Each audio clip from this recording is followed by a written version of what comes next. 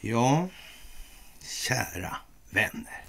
Det är ju fantastiskt det här. Alltså, ska vi se om vi kan rätta till den här lite sådär kanske. Ja, det är förundliga tider nästan. Va? Vi har alla hört det här att ah, ja, det händer ingenting. Det händer ingenting. Nej, det gör inte det. Vad är det som ska hända? Ja, det moderna kriget handlar om 80% informationshantering, 15% ekonomi, 5% kinetisk militär verksamhet. Det har pågått krig länge. Länge, länge, länge. Ja. Under hela århundradet som passerade, 1900-talet, ja. Det gjorde det. Mm. Fantastiskt. Vi skriver den 28 oktober 2022. Oj, oj, oj. Sista fredagen i röda oktober. Mm. Stockholmsbyråkratin hade en ja, dåliga nyheter förmedlas på fredagar. Ups. Men nu, nu blir det till ett fredagsmys. Alla som tycker att djupa staten har gjort sitt. Ja, fantastiskt. Vilken dag. Vilken dag. Tänk att få uppleva det här tillsammans med er. Det är fantastiskt. Det måste jag säga. Helt otroligt. Ja, det har varit målet hela vägen. Och nu står vi inför den utveckling av problematiken som gör frågetecknen till utropstecken. Mm. Helt otroligt. Det största av tack till er. Tack för gåvor på Swish och Patreon. Tack för att ni har fördjupat er och att ni fortsätter att fördjupa er på karlnorberg.se. Och eh, tack för att ni följer Telegramtjänsten. Och som vanligt att ni hakar på underpoddar och framförallt då Free People's Movement, att ni hjälper till att sprida det. Det tuggar på helt enkelt. Och det kommer att eh, bli ett eh, jävla tuggande i den delen. Så är det också. Man skrev ju de här gamla böckerna bakom mig och på flera hållet om Sverige, den svenska befolkningen under andra världskriget som inte såg någonting och inte märkte någonting och inte ville veta någonting. Mm, den svenska befolkningen tuggar. Tuggar och tuggar. Karl Gerd skrev en eh, melodi. Mm. Per Albins Hanssons Demagogi Groggi Vals, alltså fläsk, margarin och folkkonjak var det frågan om. Så hembränt. Jaha. Ja, det är lite speciellt nu får man säga alltså. Det är helt otroligt. Det är roligt faktiskt. Mycket, mycket roligt är det. Och Herr Byvald eh, har svarat med ett inlägg på min sida och taggat mig då i det och så står det så här om Sverige går med i NATO och USA öppet ockuperar Sverige. Har jag skrivit då i ett sånt här lite färgglad då. Och då har han skrivit då så är de hjärtligt välkomna. Ja, vad är det där för konstig grej alltså? Mm. Jag kanske kommer tillbaka till det då. Mm.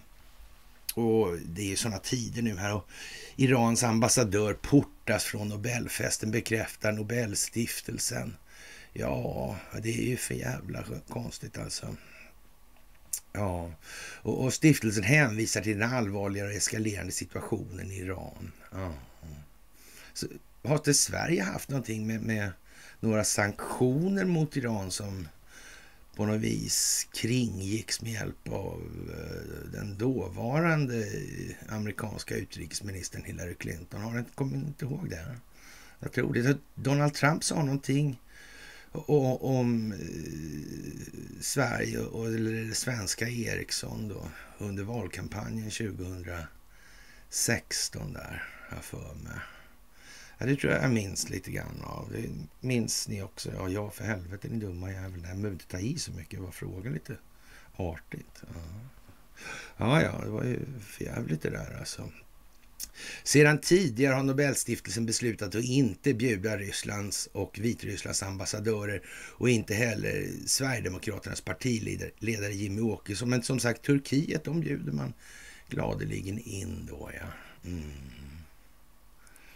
Ja, fan blir det med, med NATO egentligen om det blir något strul med det amerikanska valet och svenska företag och svenska politiker som inte möjligtvis kan ha missat det här genom de informationskanaler de har genom de svenska underrättelsetjänsterna. Hur fan blir det med det då alltså? Mm. Ja, det verkar ju precis som att eh, det blir någon form av delegationshistoria här alltså. Mm. Jag vet inte. Krigsdelegation tror jag det var. Men, och så var det ju det här med utrikesnämnder och utrikesutskott och, och sådär. Där har man ju faktiskt från Sverigedemokraternas sida skaffat sig eh, en vältalig representation. Det får man ju tillstå. Alltså, kanske man har gjort med någon form av avsikt, någon bakomliggande tanke. Mm, det kan man ju ha gjort. Mm. Men att säga att man har verkat i upplysningens tecken, det verkar väl kanske eh, lite över hövan. Mm. Nästan snudd på ohövligt. va? Mm. Mm, ja, det kan jag tycka. Men, men, samtidigt så har man väl inte sådär in i helvete mycket att välja på från så att säga, den koordinerande sidan då när det gäller att motverka den djupa staten. Man får ta vad man har som Kajsa Warg sa. Och, och, som sagt, eh, då kanske det är bättre att ha en så att säga något mer dold ockupation i alla fall i någon mening. Ja. Jag vet inte. Jag tror Stensö var inne lite grann på det där igår med Kearsarge och ormar och äpplen och hej vad det går. Jag tar lite fasta på det idag jag också. Sådär. Faktiskt, vi har haft de diskussionerna han och jag tidigare sådär, på telefon och sådär. Så det är väl inte sådär så det kommer som en klar blixt, eller vad säga, men en blixt från klar himmel. Det är det ju inte. Men, men eh, ja, och, och det här är ju den dagen, får man säga, som man griper jallarhornen. Man, Jonathan Lejonhjärta kommer sprängande över de öppna vidderna där. Och snor den här luren ur Tengils hand helt enkelt. Ja, det där är ju lite speciellt alltså. Mm. Det handlar om Jallarhornet alltså. Mm, det gör det. Mm, the Bullhorn. Den här största delen på det moderna kriget. Informationshanteringen, opinionsbildningskraften. Den som kan eh, använda sig av reflexiv kontroll och som så att säga sätter narrativet, utvecklingen. Men den djupa staten har inte styrspakarna längre. De har funnit sig i reaktionslägret under en rätt lång tid. Alltså det kommer nya saker. Det innebär att de styr inte planeringen och så har det varit under en rätt lång stund här nu. Mm. Det kan man se om man tittar på detaljerna så att säga. Vem agerar på vad? Vilka ingångsparametrar styr vad? Eller ja, först måste man ju naturligtvis ha en idé om att det finns faktiskt krafter som motverkar och det kan man ju säga är Eh, inte sällan en ganska avgörande anledning till att många inte vill kännas vid att det faktiskt finns det. Alla vill inte all andra illa då för att gynna sig själva, för det blir ju det det handlar om till sist då. Om, om det absoluta behovet är att gynna sig själv, då, det, ja, då blir det ju så alltså. Mm, det kan inte vara, man måste ha någon form av förnöjsamhet, någon gräns. Hur, när är eh, när räcker vad som är nog? Liksom? Mm.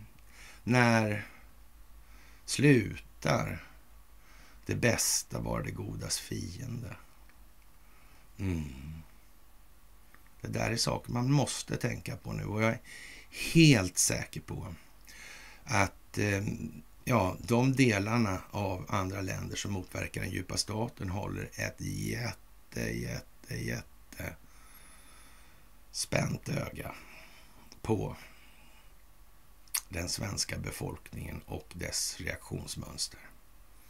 Mm. Man följer på något vis det här också på något märkligt vis som vi kommer tillbaka till när vi pratar om ormar i paradiset och sådana här grejer om bara några få minuter.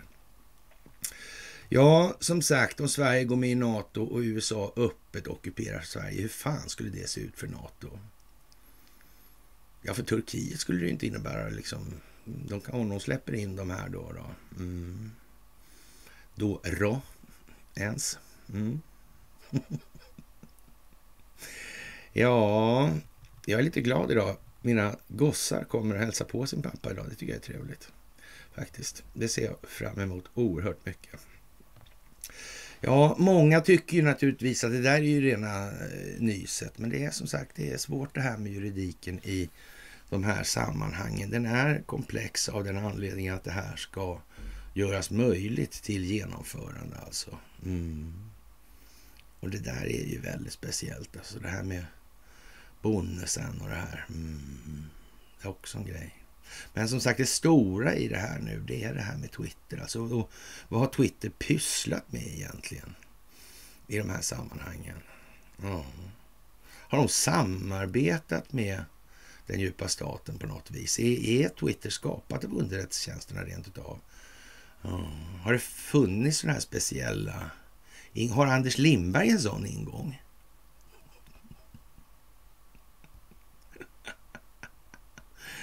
Ja, ja, ja, ja, ja, ja, ja, ja, ja. Jaha, alltså. Åh fan alltså.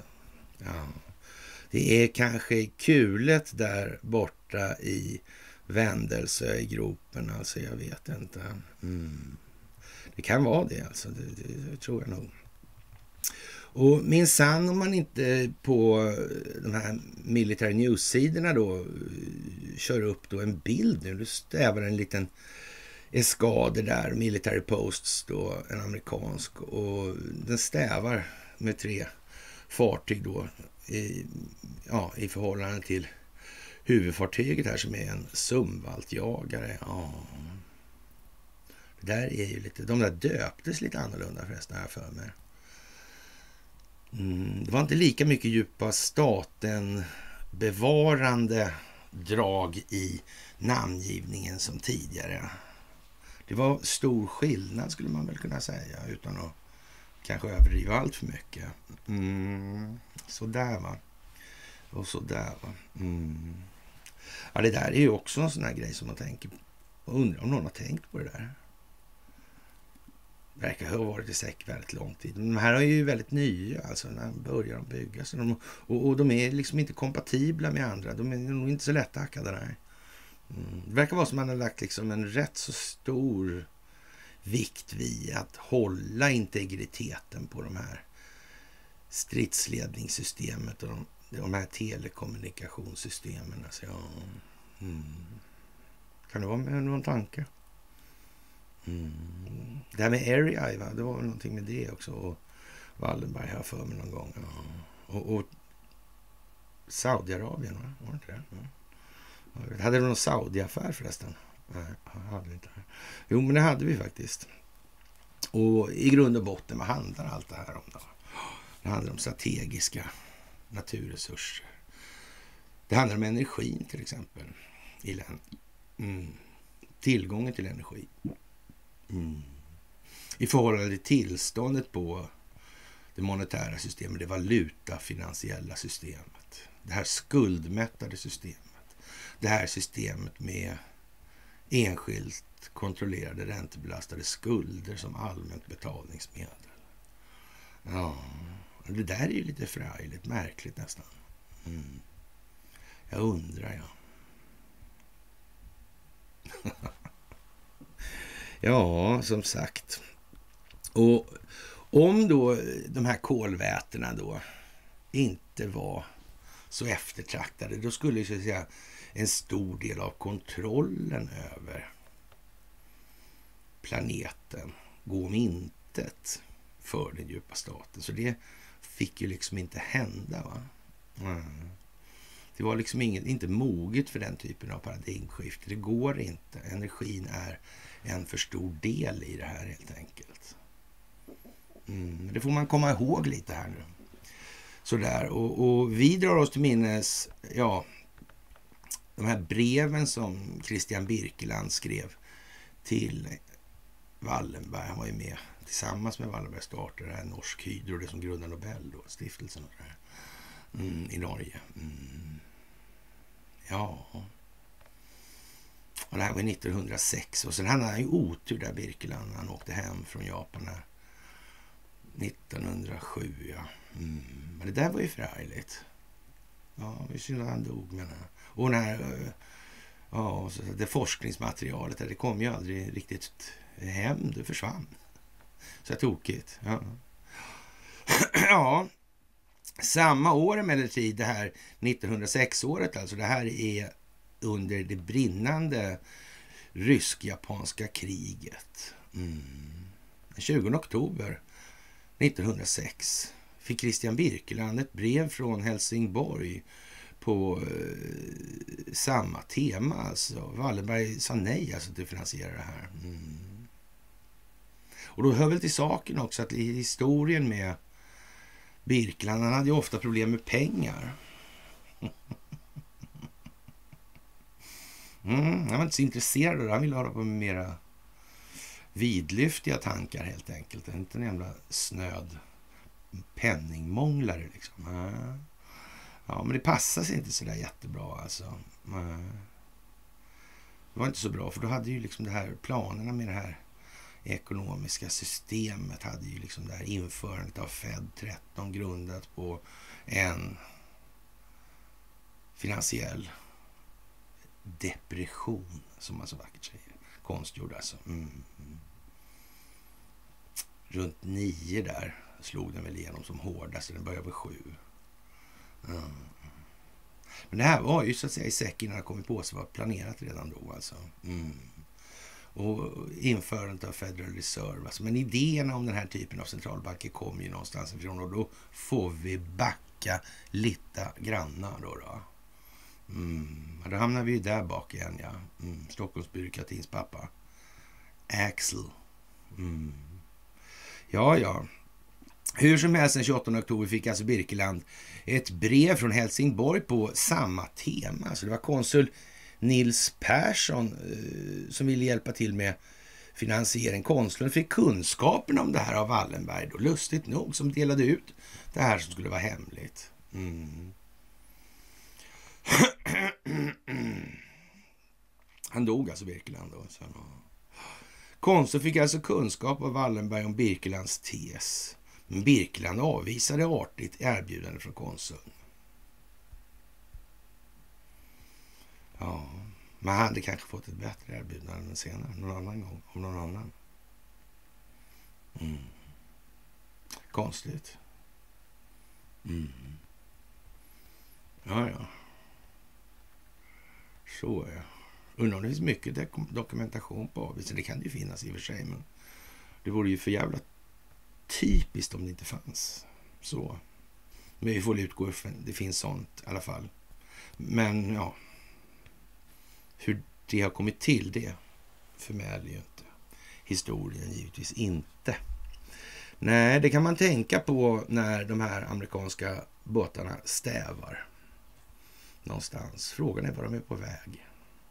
Vad är tänkt i det här? Symboliken kanske, jag vet inte. Det handlar mycket om symbolik nu. Det är det, helt säkert. Och det här historien med Swedbank. Och, och nu får en för detta Swedbank-chef i de här sammanhangen då under den här rättegången. Han, han, säger så här, jag fick en stark indikation på att det rörde fler banker. Och man har i Dagens Juridik gjort en, en rätt omfattande artikel idag och vi kan väl läsa några brottstycken ur det här. Det handlar om det Uppdrag granskning. Uppdrag granskning har ju alltid då avslöjat saker i lagom omfattning. Så att det inte har i alla fall lett till några stora samhällsomvälvande åtgärder från statsmaktens sida. Kan det ha varit själva syftet med hela Uppdrag granskning, tro? Eller satte man då en kritiskt granskande organisation på fötter och finansierade den för att granska sig själv? Gjorde man det från statens sida? Helt säkert gjorde man det. De skulle ha sagt något. Jag lovar det så. Nej, det är inte så alltså. Och i, under de här förhören så framkommer det häpnadsväckande nog en massa konstiga saker och jag vet inte vad man ska säga om det här nu. Det blir liksom ganska klart att den här stämningstalan mot Bonnesen, den där är väl liksom hänger lite, det är väl som herr Samuelsson säger det. Är, det skulle vara ytterligt förvånande om någon, men det vet man ju inte. Som sagt, det kanske ska dömas åt det hållet av just den anledningen. Man vet ju inte så. Det kanske behöver exponeras att det här är inte riktigt riktigt alltså, om man säger som så. Den svenska befolkningen måste förstå. Det här handlar om folkbildning. Det är hela projektet alltså. Det är det det här handlar om. Den här matchen har varit slut för länge sedan och man hade i princip kunnat då göra det man från många håll då har önskat sig. Alltså man hade tagit de här och avlivat dem på Gitmo och så vidare.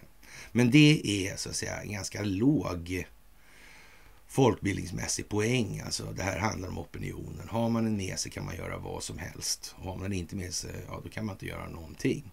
Så om man hade gjort det och inte förändrat opinionsbildningsklimatet till en omfattning där man nu kan mätta sönder vad än de ägardirektivstyrda opinionsbildningsmedierna tar sig för alltså. Det duger inte längre det som har fungerat tidigare. Det funkar, ingen lyssnar på dem. Och dessutom kommer det här eländet med Twitter nu alltså. Ja. Och då är det väl så, John Durhams parallella verksamhet som han håller på med. Då kommer det ju fram en massa saker och den här... Äh, ja figuren senast här som blev friad också. Men det kom fram andra saker under de här vittnesmålen. Det var ju själva poängen där då.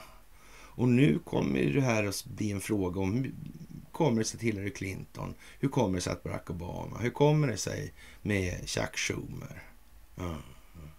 Hur kommer det sig med Adam Schiff? Hur kommer det sig med Nancy Pelosi? Mm. Ja, ja, ja, ja.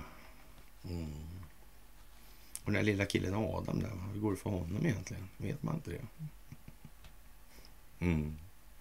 Ja, det där är ju faktiskt rätt, rätt så konstigt. Alltså. Nu är det då under torsdagen, igår var den 13 förhandlingsdagen mot Bonnesen, alltså hon misstänkt för svindleri och grovt röjande av insiderinformation. Och det kan man väl säga, de där åtalspunkterna är väl försiktigt sagt lite underminerade just nu. Mm, de står inte riktigt på saklig grund längre och, och, man får eh, tolka hur man har refererat förhören i de här sammanhangen. Och eh, jag vet inte var man ska börja. Vi kommer naturligtvis då, Dagens Juridik är ju inte tappade i eh, så mycket i den meningen i alla fall, så de klarar i alla fall av att ja, hålla skenet uppe för syns skull.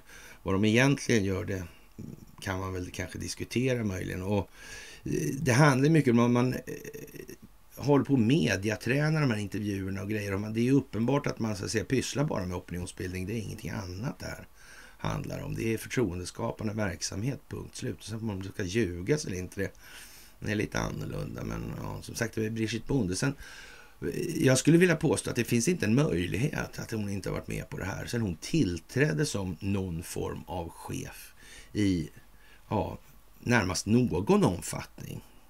Mm på Swedbank, även om hon har jobbat hela livet. Hon har varit under lupp alltså. Mm. Och fått, eh, ja, så man säga, kanske vissa inputs nödvändiga. Mm. Men samtidigt inte så vidlyftiga att det skapar osäkerhet om vägval. Mm. Det skulle jag tro faktiskt. Jobbar ju trots allt på bank liksom. Sitter ju inte och orerar i någon ja, konspirationistmiljö liksom. Ja, och jag tror att eh, det här kommer ju att bli en cirkus utan dess like för svenskt vidkommande.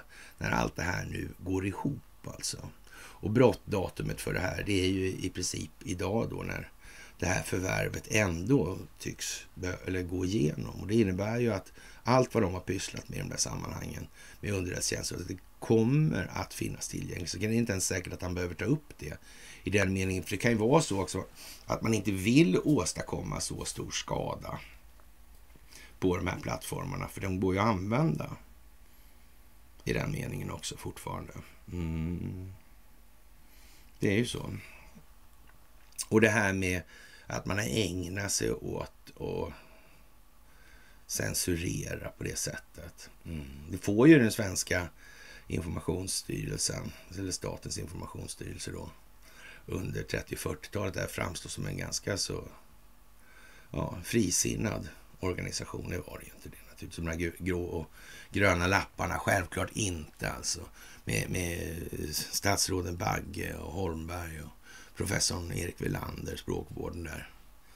Ja, sittande på sitt, i sitt elfenbenstorn och tittande ner på populaset. Ja, det kan man ju säga är lite speciellt. Och när det gäller den här rättegången så är det väldigt, väldigt konstigt för då kommer den här eh, Magnitsky-affären upp också. En av punkterna handlar om pengar från den omtalade Magnitsky-affären.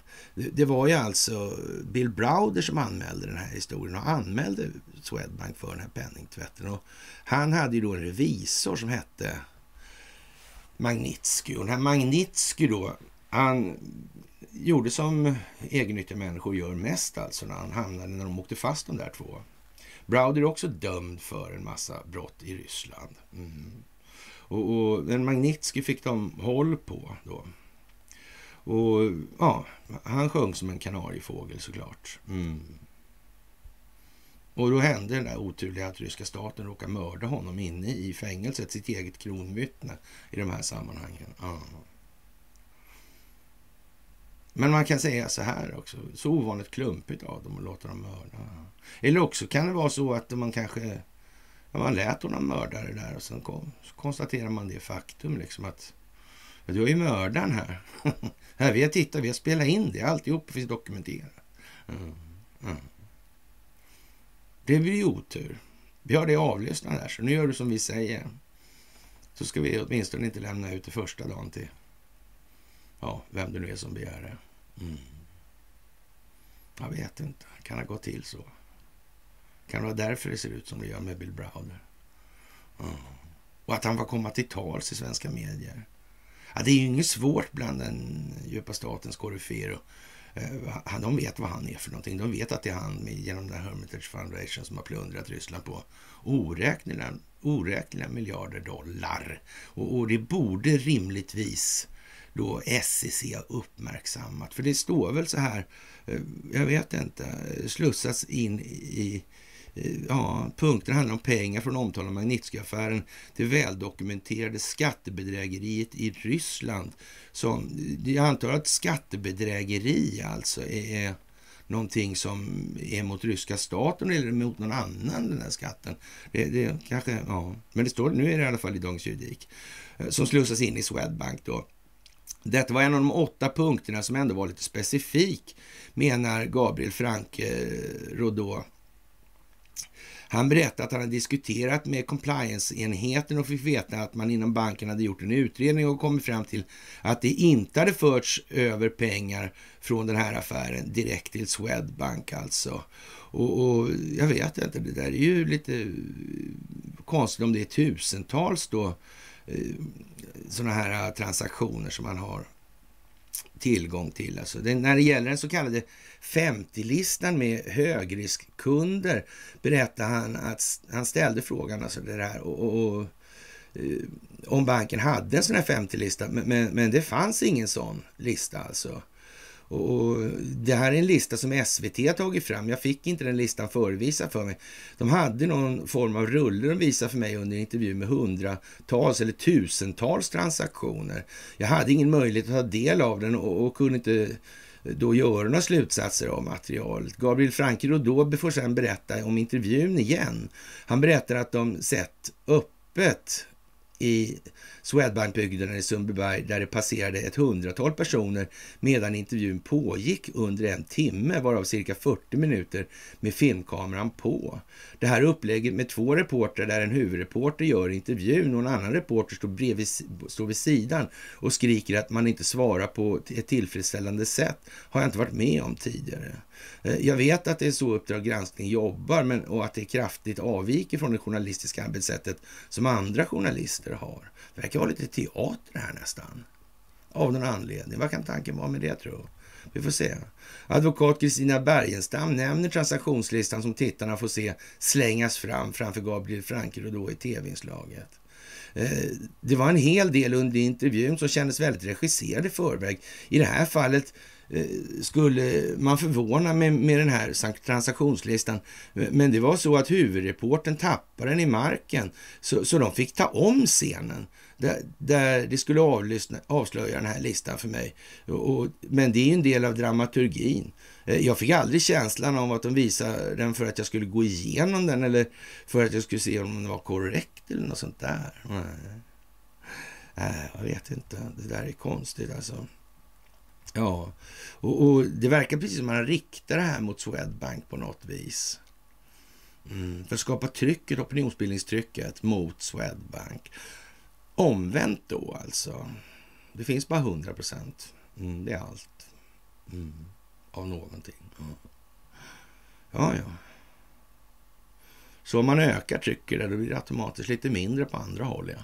Mm, till mm, en given förmåga, så är det ju. Mm. Vilka var det som skulle... Var det inte några andra banker inblandade i det här? Jo, det var det va? Mm, jag tror SEB var inblandad, var det inte så? Men de verkar ju inblandade i så mycket annat. Kanske det har med saken att göra, att det är andra som de är inblandade i. Att man måste liksom flytta över trycket till någonting som upprätthåller det här. Så inte såna här eh, eh, konspirationsdårar sitter i, framför någon jävla bokhylla och säger att ja, ja, ja, ja. fokusförskjutning. Mm. Magnitsky var revisor, inte advokat. Browder är en gangster. Mm. Det kan alla som läser till förstå. Ja. Oj, oj, oj, oj, oj, oj. Jaha, och eh,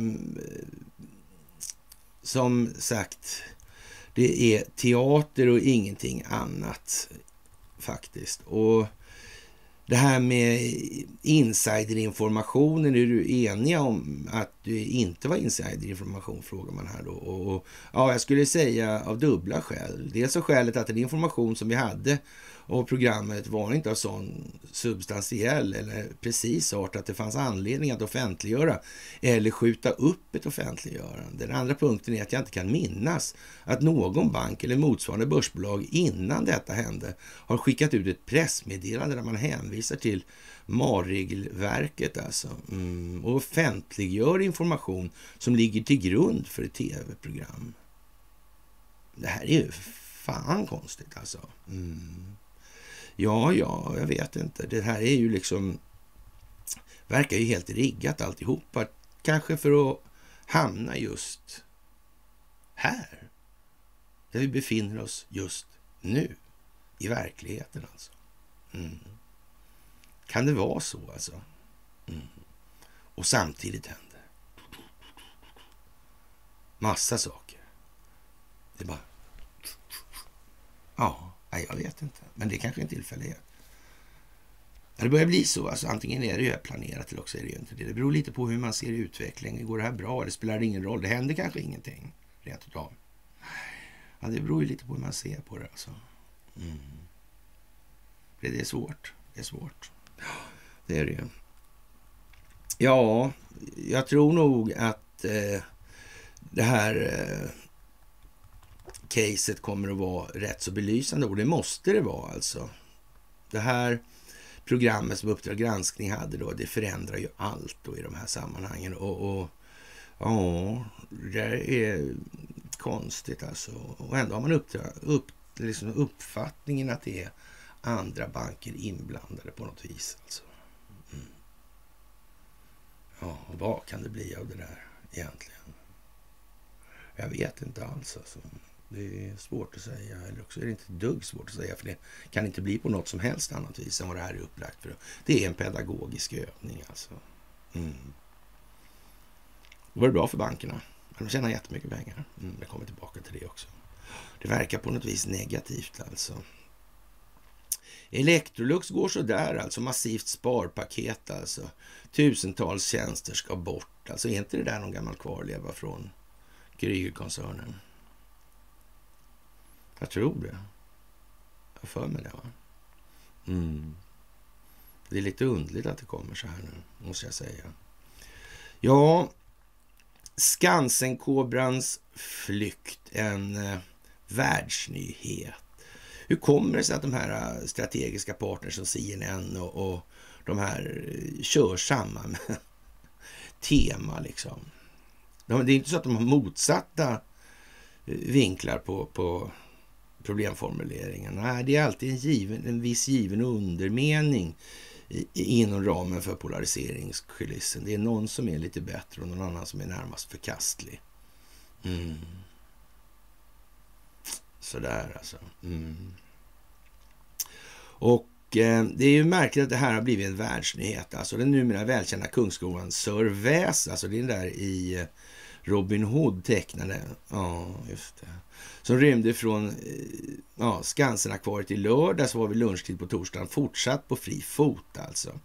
Ja, det kan man ju säga vad man vill om den formuleringen. Alltså, enligt Skansenakvariets ägare Jonas Wahlström, inte Jonas Ahlströmer som jag sitter och näsvisar med och, och säger att jag associerar till, men det vet man ju inte. Mm. Ja, är det mest troliga att ormen ligger och trycker någonstans i byggnaden. Ja. ja. och parallellt med jakten på den listige ormen som försvann genom en lamparmatur har historien blivit ett hett nyhetsstoff för nyhetsmedier världen över. Hur är det fan med det där Red Bee? Är det någonting som kan påverka någon någonstans? Skulle det kunna vara så? Ja, och det är inte bara där då liksom i så fall. Utan det verkar vara på lite fler håll alltså. Ögonblicket då den farliga kobran rymmer från det svenska sot lyder den dramatiska rubriken i tidningen El Nuevo Dia i Puerto Rico som publicerar en video från händelsen på Skansen. Eh, flera har valt att lägga fokus på kobrans nya smeknamn Houdini efter den välkände Utbrytarkungen alltså.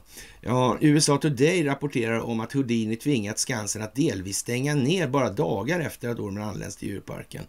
Eh, dagstidningen Clarin, en av Argentinas med största medier, skriver Houdini, den riktiga kobran som helt otroligt rymde från ett svenskt zoo. Clarin har också valt ut bilder på ormen och Skansen i tidningens Dagens bästa bilder från världen sektion. Ja. Argentina tror jag Sverige har lite inflytande i faktiskt, rent företagsmässigt, men jag kan ju ha fel alltså.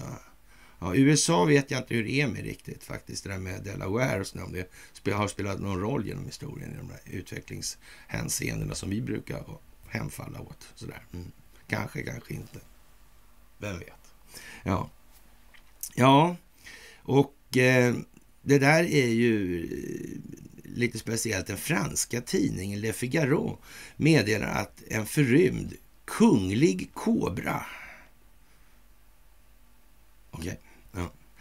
Ja, eftersöks i Stockholm och upplyser sina läsare noggrant om att ormen är den giftigaste i världen och att ett enda bett kan räcka för att döda en människa. Ja, några saker kanske möjligen sant i det där, men, men, inte alla i alla fall. Några, några är lite mer tveksamma helt enkelt och några kanske är, är så att säga, ja, för att ge lite krydda till anrättningen. Eller vad ska kalla för. Ja. Det svenska smedva, smeknamnet Sir Väs alltså har fått sin egen kreativa variation i medier i andra länder. Medan den fransktalande världen valde eh, Sir Siffleur, eh, herr Visslare, så håller de engelska språket sig till eh, Sir Hiss. Ja, och eh, The Citizen i Johannesburg berättar eh, Eh, historien om den lömske ormen Sir Hiss. Alltså. Oh. Den nederländska tv-kanalen VRT döpt kobran till eh, Graf Sliss som är nederländska för greve Väs. Mm. Det där är jävla konstigt alltså. Men alla de här äh, omnämnda platserna eller regionerna verkar vara sådana platser där det finns ett rätt så påtagligt inflytande av Investorsfären. Så mycket kan man ju säga. Mm, det här med ormar och äpplen verkar ju vara det där. Det var lite grann som, som, som Stensö var inne på, för mig. Mm. Jag tror att det är något sånt där konstigt. Ja. Verkligen märkligt helt enkelt. Ja. Kärt barn har många namn, speciellt i andra länder. Och vad kan det bero på? Möjligen då, tycker herr Johansson. Och, och hävdar att man kan kanske nästan förstå en andemening och, i en from förhoppning om att det ska väldigt många göra nu. Alltså börja ägna sig åt lite kontextuell förståelse. Mm. Det är nog ganska bra i det här läget, jag tror det. Faktiskt. Det, det, handlar ju nämligen om att man inte får ljuga och därför får man ju säga det på något annat sätt alltså. Och ja, den här förhandlingschefen eller chefen för Eurodiplomacy, Josef Borrell, sa att han inte visste vem som låg bakom sabotaget på gasledningarna Nord Stream 1 och 2 här. Och, och hade de några bevis då, eh, Europeiska unionen, frågar man då. Och, och det finns inga, nej. nej. Och, och tillade att för närmare utredningarna inte avslutade och processen är försvårad av stort djup. Det har, Eh, vänta nu här. Eh, processen är försvårad av, var det inte samma djup? Har djupet ändrats då? Eller hur fan menar han här? Det har blivit svårt, det är stort djup. Det var inte...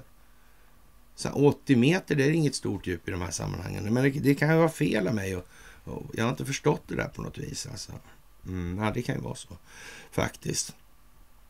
Och, och ja, och den 7 februari vid en gemensam konferens med Scholz så tyckte underlivsporslinet då att eh, ja, han har för avsikt att förstöra Nord Stream 2. Så han sa om Ryssland invaderar kommer det inte finnas någon Nord Stream 2. Och på frågan av en journalist alltså, hur, hur ska han göra det här om projektet är under tysk jurisdiktion? Biden svarar, vad jag lovar, vi kan göra det.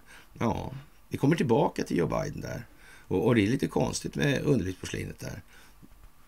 Han spelar en mycket skicklig roll, alltså, måste man säga. Mycket mycket skicklig roll. Han är inte på långa vägar så senildement som han framstår. Det torde vara rätt så klart om man tänker efter nu. Jaha, men det sprider sig. En eh, före detta Virginia-senator, Richard Black, sa och han är före detta åklagare också. Han sa i en intervju med The International Schiller-institutet att USA och NATO genomförde sprängningen av gasledningar.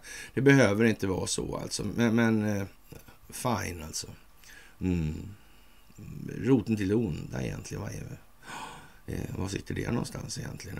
Ja. det är ju inte riktigt så att det är Sykes-Picot det här. Det är inte där det börjar. Det här med centralbanker och banksystemen och det går under jorden där. Stockholmsbyråkratin. Hur man förfinar den institutionaliserade korruptionen för att gynna enskilda vinstmaximeringsintressen på den stora befolkningens bekostnad. Mm.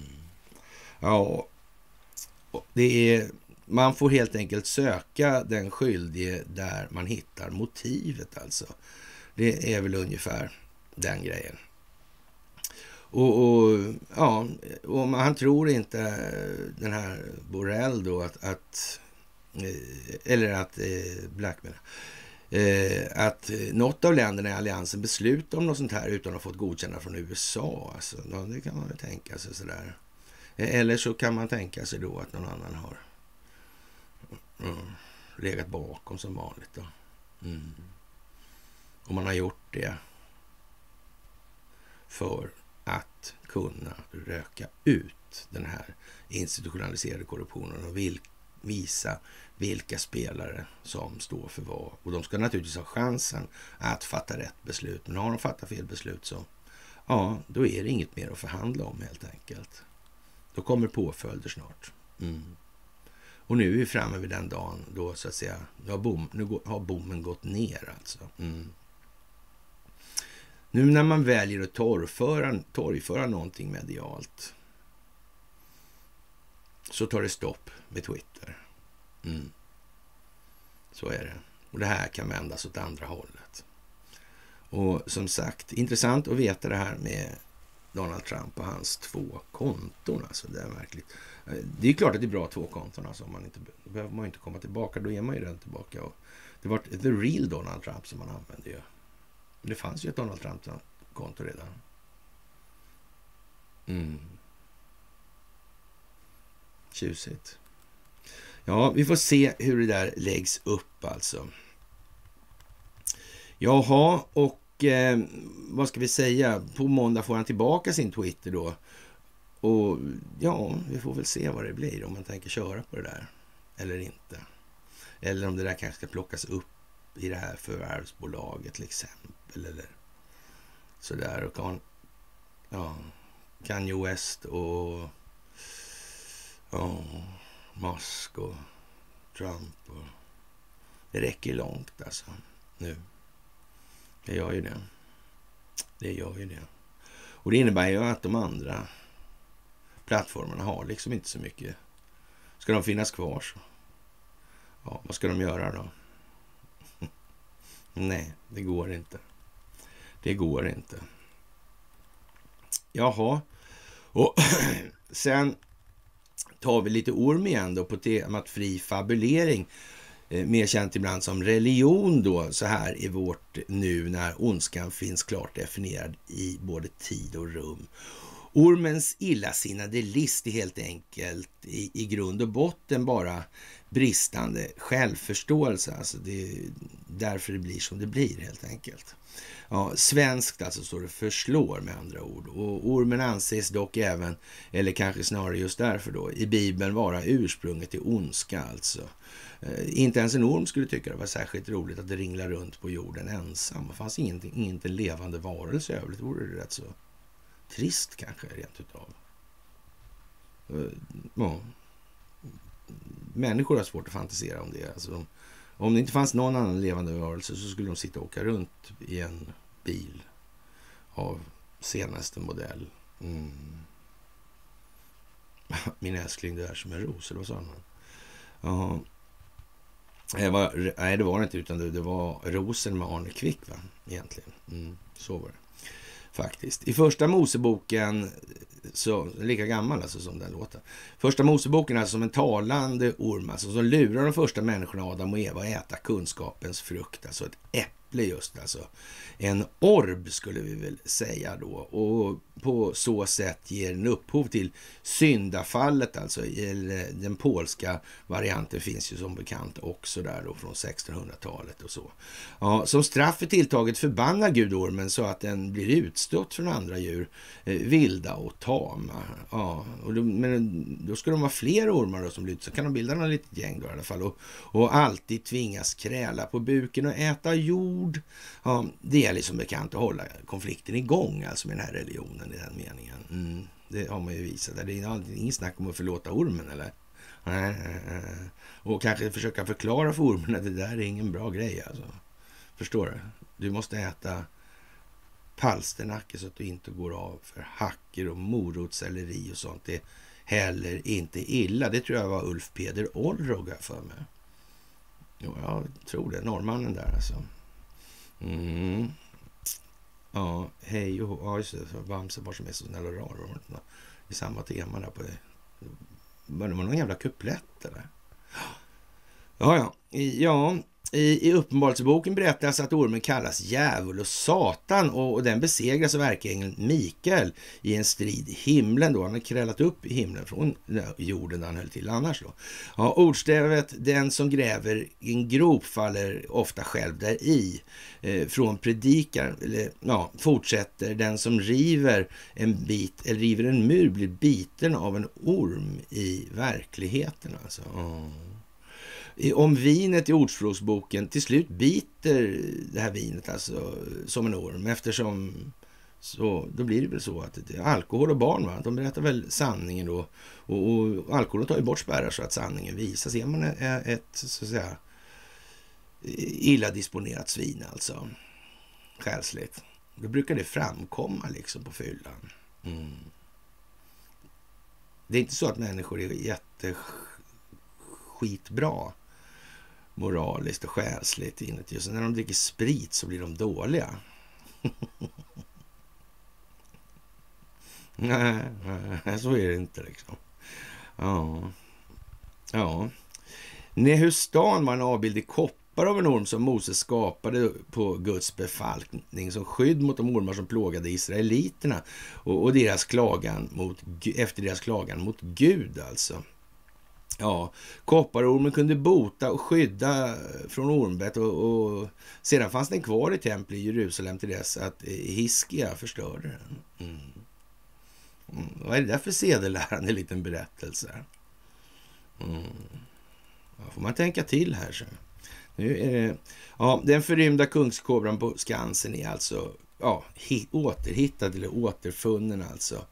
Och ja, det är en liten söt fabel då och, och som sagt det var i lördags när rymde och ja, när man letat en, en vecka ungefär då och, och, och, nu är det Anna Wahlström, hon kanske är släkt med den här Jonas. Vad vet jag alltså. Mm. Och nu har de hittat han då i alla fall och nu blir det här Ahlströms, Ahlströmerska projektet lite mer stil. Men vad konstigt att det kommer samtidigt alltså. Mm. Det är mycket metaforer i de här sammanhangen.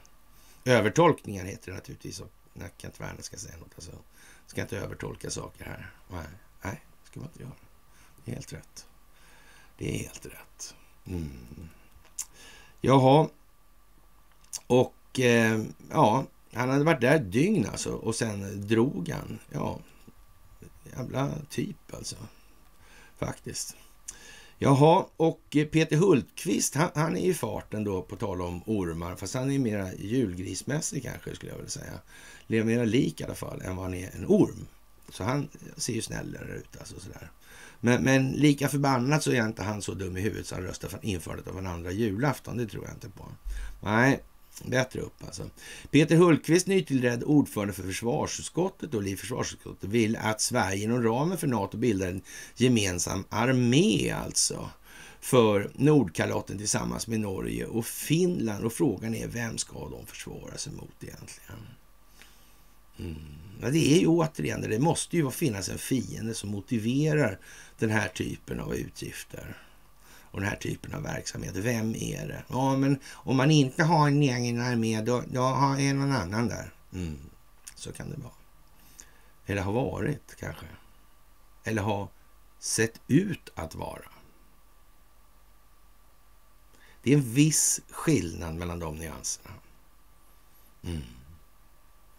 Eller menar de på allvar att det aldrig har funnits en falsk flagga? Ja, vet jag inte om jag tror att de menar faktiskt. Så jävla dumma är de inte. Mm. Vi ska ha en hög ambition i NATO och göra allt vi kan för att få till en bra planering i Norden, säger den förre försvarsministern till Dagens Nyheter. Hultqvist vill därmed, därmed att svenska soldater ska kunna försvara den finska gränsen mot Ryssland. Alltså det här är ett, eh, ja, i en tid där man diskuterar alltså att placera kärnvapen då på den ryska gränsen i princip då. Mm. Mm. Undrar om de är med på det här, finnarna. Hon verkar stark den här Sanna Marin. Hon verkar vika sig så lätt för påtryckningar av geopolitisk, eh, tektonisk karaktär. Hon håller emot. Mm, jag men det må dansa och roligt ibland. Ja, inte ens tidningarna kunde hålla käften. Så det där var inte så statsmannamässigt. Det kan man inte säga. Jaha. Ja.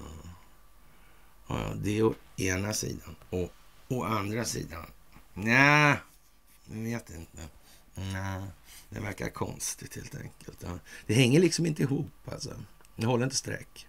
Ja, och Hultqvist alltså, vill därmed att alltså, svenska soldater ska kunna försvara den finska gränsen mot Ryssland. Och nu har de ju problem med, med eh, personaltillgången alltså. Blir det mycket bättre av att man ska åka över till Finland och kriga mot Ryssland? Det har ju funnits sådana entusiaster för all del. Alltså. Men, eh, ja. De entusiasterna kanske hade, till och med hade avlyssning på sig. Och de kanske hade idéer om att hela projektet med det här ställa Stella Polaris och sånt där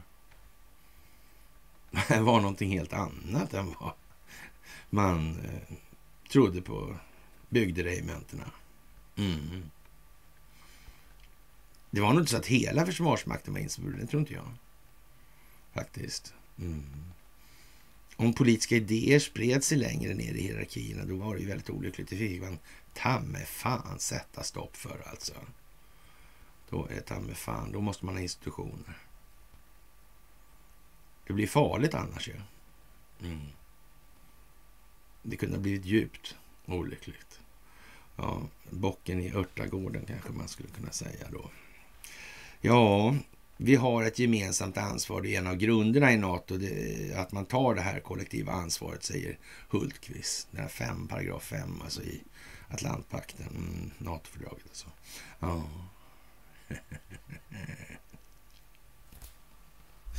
ja, ja. Det är ju lite, ja, men det är lite gosig stämning i det här alltså. Ja, vad man ska säga, kommentarerna varierar och skiftar ju kvalitetsmässigt rätt kraftigt nu. För det är ju fortfarande många som inte liksom riktigt, äh, ja, lite betongcaps på fortfarande. Alltså det är lite, man ser lite av tårna fortfarande. Man, så gör sådär. Alltså, man, man måste höja blicken lite. 8 grader över inte räcker. Alltså 11 behöver man inte ha. Eh, det, det där är... Mm. Jaha, och eh, det är roligt att sitta i opposition påstår Magdalena Andersson. Det, det märks inte. Och om man tar eh, ordet opposition på allvar så verkar det knappt finnas något på högerregeringens agenda som hon skulle vilja göra annorlunda. Och, ja, tiggeriförbud till exempel. Ja, kriminalpolitik utan socialt ansvar. Det är bara att köra. Ny asyllagstiftning, bunta ihop och ja, eh, ja vad ska man säga, Andersson är så osjälvständig att de till och med tagit till sig Ulf Kristerssons vokabulär alltså. Eh, Tobias Billström har lovat Erdogan att vi ska sluta dalta med regimkritiska kurder alltså. Ann Linde sitter tyst och tacksam över att eh, han tar över det mesta av skitjobbet som hon skulle ha påbörjat, eller som hon påbörjade alltså.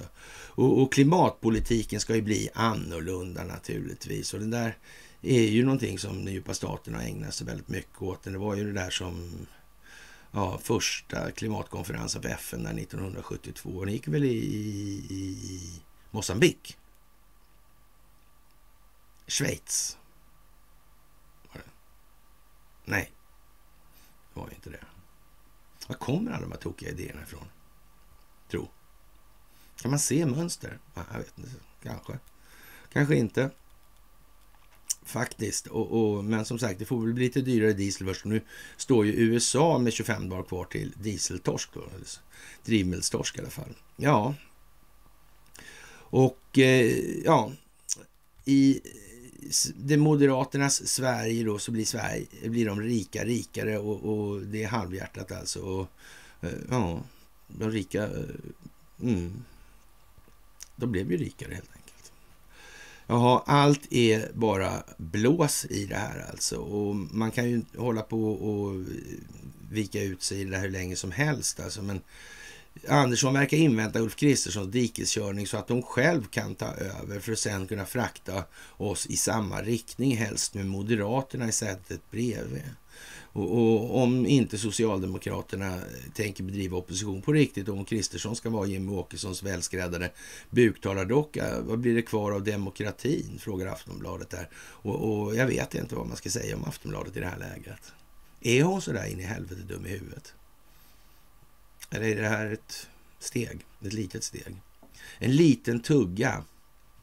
Mm. Det går kanske inte att ta allting på en gång. Nej. Det tror jag blir för mycket. För det här handlar om folkbildning alltså. Mm. Det handlar om jordens genom tidernas största folkbildningsprojekt. Grundat på en amerikansk stingoperation. Som dessutom är koordinerad globalt. Mm. Det är den. För att skapa alltså synergieffekter i det här motverkandet mot den djupa staten i en väldig massa länder. Ja, det bygger på idén att det ska finnas olika alternativ att välja mellan. Ja, vad ska man säga om en sån grej egentligen? Vad sägs om att man diskuterar fram ett sätt som är det bästa möjliga sättet på saklig grund istället? Det är väl lite så kanske. Alltså, och så får man väl börja med den här frågan då. Är det av någon speciell betydelse eller signifikans den här målsättningen med samhället, att det ska vara enskild vinstmaximering eller att det ska finnas ett samhälle? Då får man ju göra den distinktionen där då. Mm. Men det ska man väl ändå klara av kan man tycka som vuxen. Annars jag tror att vi borde sätta en myndighetsgräns där. Och det är möjligt att en del människor aldrig når upp till den när de inte klarar av att förstå det här. Och då tycker jag nog faktiskt att det inte finns inget självändamål att bara för folk vill vara kannibaler så, så ska det vara någonting som alla ska ja, så att säga förlika sig med. Det verkar ju inte, jag tycker det verkar dumt alltså. Men det är förstås det är min, min högt personliga uppfattning i det här. Och, och, och, att någon ska vilja stänga vissa dörrar för att eh, öppna nya, helt, helt nya. Och, och jag vet inte det här om den här, eh, vad ska man säga, retoriska efterblivenheten som visas upp i medierna. Och om eh, vad, vad har man för liksom, strategisk plan i det här? Eller är det så att men nu får man jävla lag efter läge här alltså? Man har inte fått det bättre. Och är det så att det här vill, vill sig så att det här ska bort, omkull, försvinna och så vidare, då är det ju så naturligtvis. Eller den här ledningen då, eller ägar, ägarna med sina ägardirektiv, om de tycker att det är någonting att spara, jag vet inte. Det där är svårt. Alltså man ser i USA ändå nu att eh, till exempel CNN blir tvungna och de ändrar och rättar upp. Det gör de ju i Sverige också i någon mån. Men frågan är om man inte ligger för långt efter. Mm. Ja, det är svårt att säga. Det är väl en smaksak och vi lär få se vilket det är. Alltså, makten är i alla fall bruten i den meningen, så det, det kommer inte... Ja, man kan i alla fall konstatera kallt då att ekonomin, eller bankernas pengar styr en ekonomi som kontrollerar politiken. Och, om man säger så här för, för 10, 12, 15 år sedan så där, då, då, var det väl ingen så där riktig hit att hålla på med det här. Det finns bara människor och beteende. Det var ju helt alltså off liksom. Ja, och människor finns bara som individer och ligger implicit i den tesen. Då. Ja. Det här vill ju inte liksom... Då, då tar man ju bort eh, så att säga, signifikansen då för, för indelningarna. Då, är det liksom, då, då kan man skita i de där. Mm. Ja, det där är lite eh, sådär. Mm. Men, men, eh, ja, en del lär sig sent i livet olika saker. Det kan man kanske tro att jag inte gör, men när det gäller en del saker kan jag vara lite envis och det har inte alltid varit till min fördel. Alltså, det kan jag ju säga. Jag har, eh, dumsturig skulle man nog kunna kalla det för om man vill vara vänlig i självkritiken alltså. Det kan man ju säga, eller jag säger i alla fall.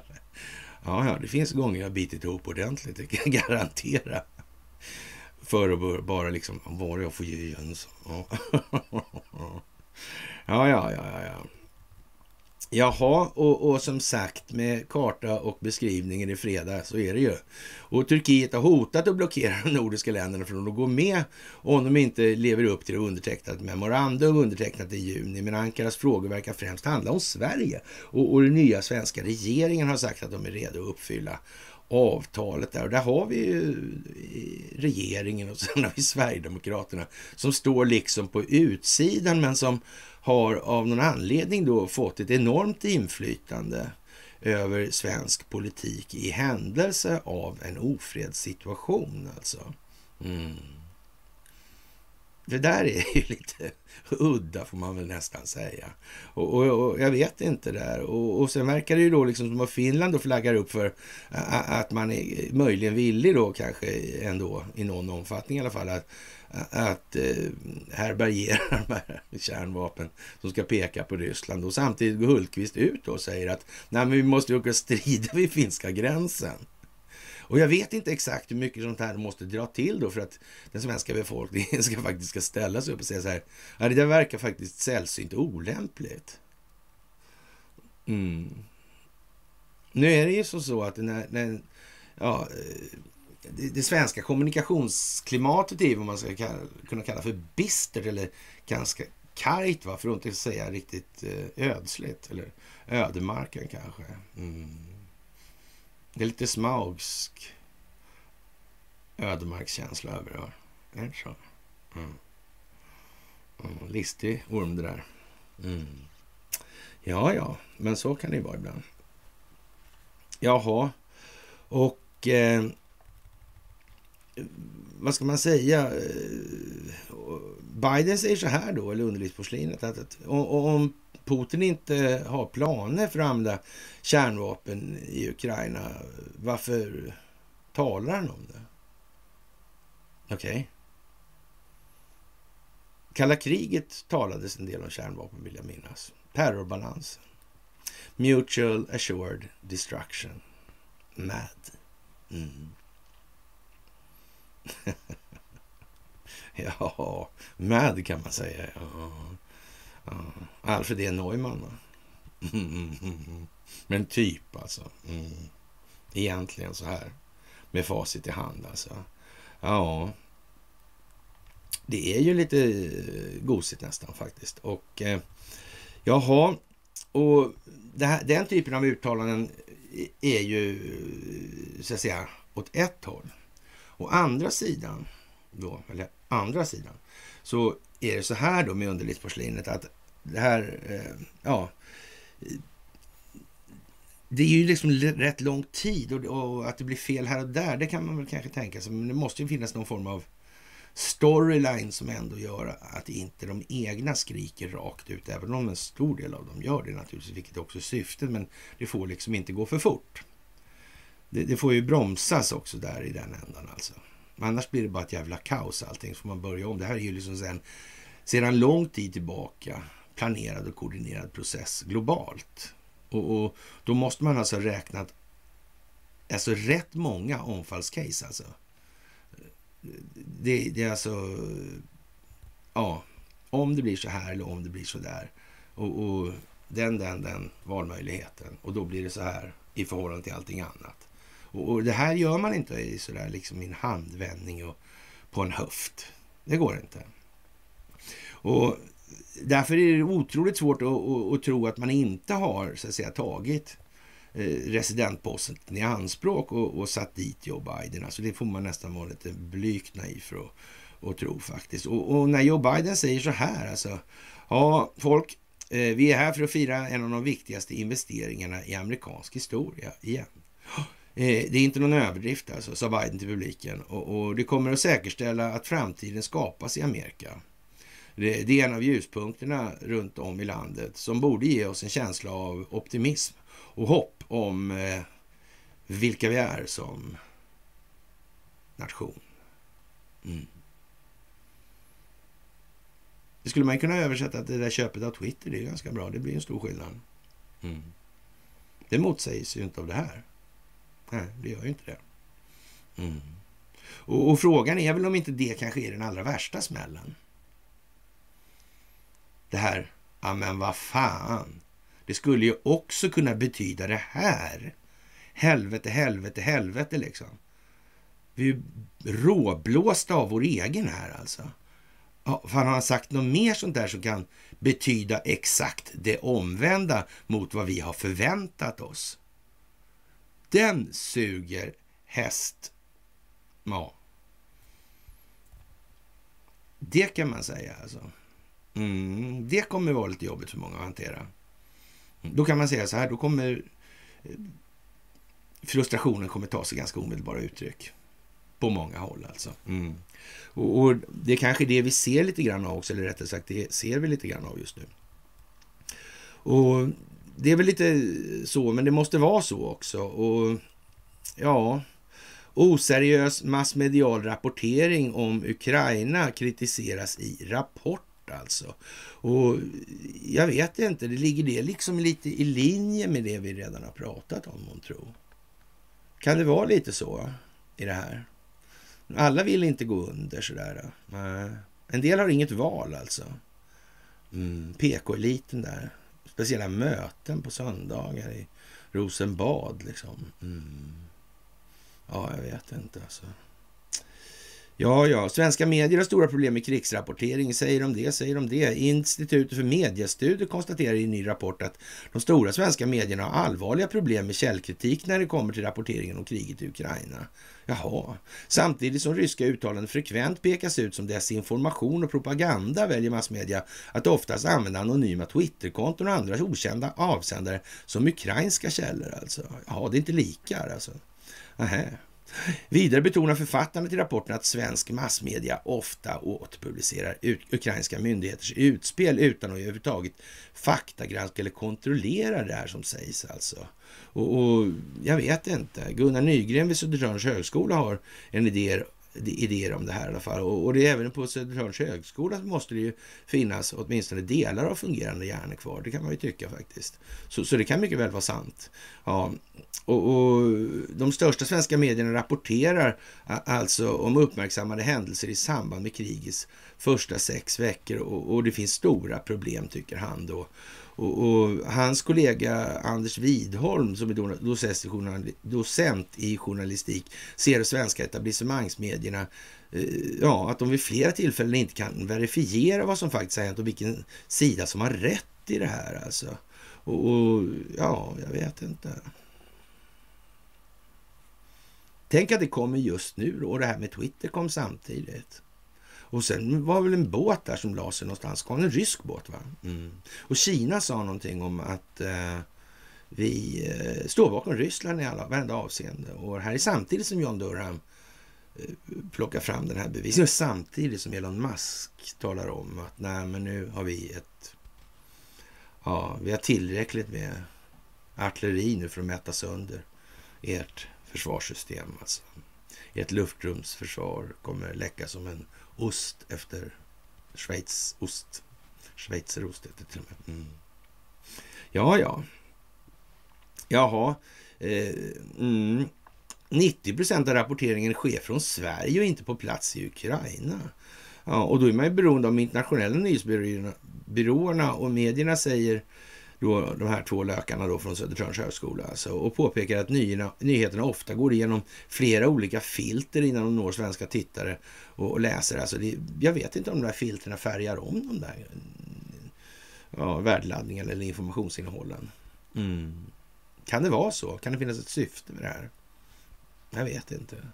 Det, eller, ja, Ja, jag vet inte. Och, och det kanske bästa sättet att göra det här på eftersom det är ju snudd på genetiskt betingat hos den svenska befolkningen. Vi vet ju att de där är dåliga och vi är bra då. då. De är dåliga och vi är bra. Vi pekar på oss själva alltså. Med tre fingrar. och det är väl därför att vi är bra då. Inte att det är vi som är dåliga utan nej. Tre gånger. Det är inte så alltså. Så det får man inte tro. Mm. Ja, det är den svenska modellen. Förklaringsmodellen i alla fall. Ja, och, mm. Ja, I studien noteras också att svenska medier i sin rapportering de är eniga. Alltså de är inte ens oeniga. Är inte det konstigt att det inte finns några oeniga stora medier alltså? Det är ju lite konstigt. Vad sa Nigel Farage? Han sa ju det, ja. Det gjorde han visst, ja. Mm. De hårdast kontrollerade i väst, ja. Mm. Ja, ja. Och man är alltså enig om att Ryssland sprider desinformation och propaganda. Och, och, ja, därför väljer man då att hänvisa till ukrainska källor. Och de här källorna då, det, det, är inte så noga om vilka källor det är egentligen. Och ja, man har inte en aning om vilka som skriver någonting på Twitter till exempel, men man, man bara kör då. Va? Man skulle rent av kunna misstänka att man skulle kunna i händelse av Eh, Eh, ibland tveksam moral skulle man kunna tänka sig att någon sitter och konstruerar de här prylarna och hittar på. Alltså. Mm. Och, och, det lämnar en del, och, och, en del frågor i alla fall att svara på. Om man tänker sig som Paasikivi till exempel. Då. Eller det här militärgänget överhuvudtaget. Ja. ja. det vill ju, bli, vill ju till en jävla storslagen förklaring alltså om internationell samverkan mot den djupa staten och det svenska etablissemanget för att de ska gå klara med vad de har uppvisat för beteende. Det måste jag faktiskt säga. Oerhört svårt att se. Jag kan inte ens förstå hur vi har kunnat hamna i den här situationen. Om den förklaringen kommer ändå alltså. Det kan jag säga på en gång alltså. Mm. Då vill jag helst se vilka var siste man på plan som man rökte ut då. Mm. Ja, ja, för all del. Vi vet inte vad som händer i Ukraina. Så, ja, vad som egentligen är den här äh, kollat, ja, kollaterala skadekostnaden, collateral damage. Då. Så, mm, det vet ju inte vi riktigt. Nej, det är det som står här. Vi vet ju faktiskt inte det. Nej. Så, mm. Det är inte så vederhäftigt alltså. Ja. Och eh, som sagt, det är ju vad det är när Donald Trump skickar ut ett meddelande eller en, en ja, ett statement då, uttalande.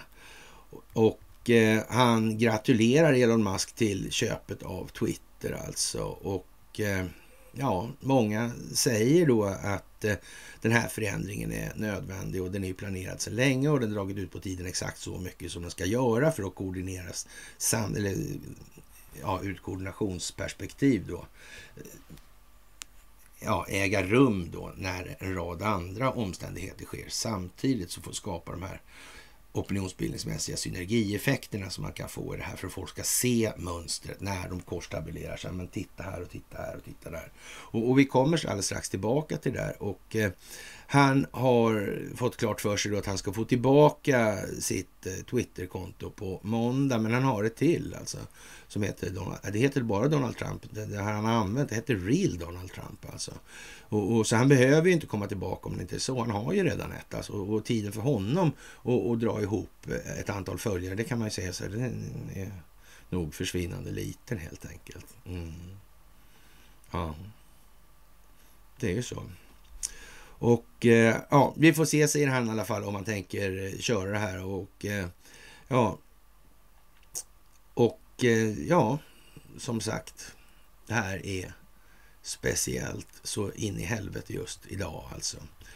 Och Kina påstås driva hemlig polisstation i Stockholm enligt Safeguard Defenders då. Och, och jag vet inte, kanske det är någonting med, med ja, Ja, det var den där... Mm. Där bredvid Nybroviken där, va? Mm. Det var något där. Var det inte det? Mm. En gata. Men de hade något trafikkaos, eller trafikkontroll. Eller? Jag vet inte. Men va, ja. Och, och, bakgrunden till den här polisiära verksamheten i Sverige då påstås vara att den kinesiska kommunistregimen försöker få bukt med det omfattande telefon och nätbedrägerier som enligt myndigheterna ofta begås just av kineser som är bosatta i andra länder. Alltså. Och, och därför har eh, man enligt Safeguard Defenders byggt inofficiella polisiära servicekontor alltså. Och ja, jag vet inte. Mm. Det där är ju mycket speciellt alltså. Vad gör de här egentligen ens? Mm. Det måste ju finnas en massa saker. Det måste finnas en massa mot uppgifter i svenska register. I förhållande till kinesiska register. Från långt bak, sedan gammalt tillbaka. Mm. Det måste det finnas. De här entiteterna som motverkar den djupa staten har kanske förstått att man ska kartlägga det här historiskt för att se hur den möjliga utvecklingsriktningen ser ut utifrån ett visst givet intresse, alltså en viss moralisk disposition. Mm. Det klarar datorn att räkna ut. Mm. Kan man behöva de här uppgifterna, alltså dokumenterade? mm, kan man behöva. Jag undrar om Wallenbergarkivet är någonting för någon att ha egentligen. Varför var de egentligen alla hållhakarna någonstans? Ens. Mm. Jag minns en gång när någon sa så här, men hur vill du ha det då? ja, eh, jag vill inte ha det här jävla skitsystemet i alla fall. Ja, men det har väl fungerat ganska bra, eh, ja, som det har varit för oss i alla fall. Ja. Ja, det är möjligt man kan uppleva det så, men jag är inte övertygad om att alla ser på saken likadant. Alltså, det tror jag inte. Eh, nej, det var en lång diskussion i alla fall. Timtal.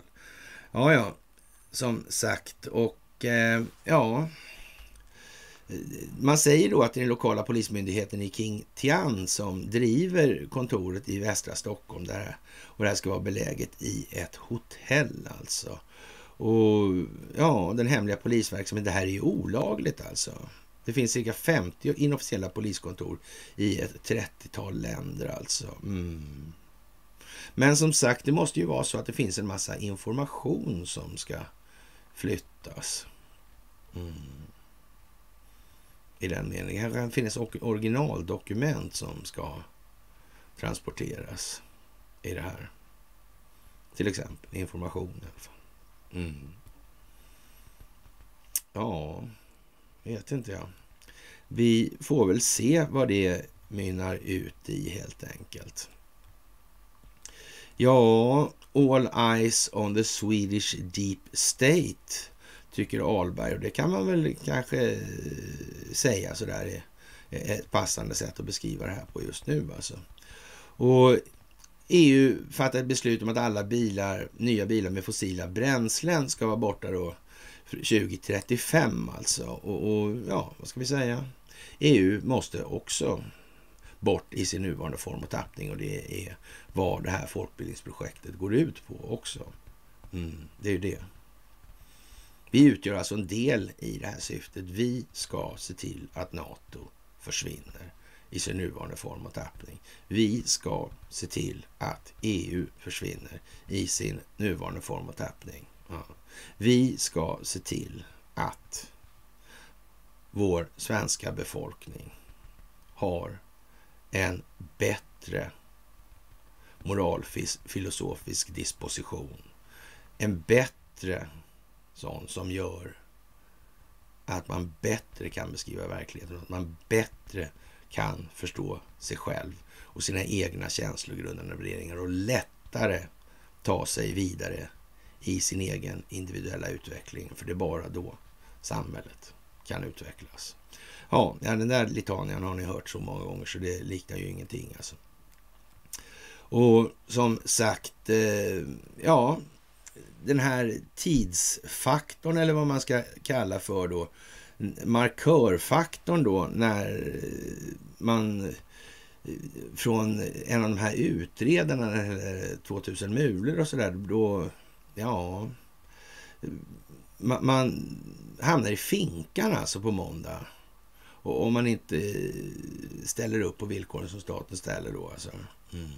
alltså man, man upptäcker alltså valfusk. Man redovisar grunderna, de tekniska grunderna, den tekniska bevisningen, så den sakliga grunden i allt det här. Och, och, och, då åker man i finkan alltså. Det, det är väl alltså...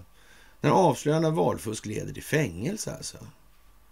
Jag vet inte om det blir så mycket. Är inte valen en ganska central del i, i, den så kallade demokratiska processen? Det kan man ju tycka. De flesta håller med om att det har en viss betydelse så tillvida.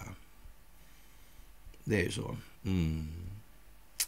Och allt syns nu öppet alltså. Ja, och i ljuset av i princip totalt obestridliga parallella perspektiv så blir det ju lite, inte bara så jävla lite, utan det blir ju lite vad det blir i totalen alltså. Om exempelvis då Vladimir Putin har börjat skratta öppet numera då åt frågor om kärnvapen liksom. Och bara, liksom lägg ner nu för fan då liksom.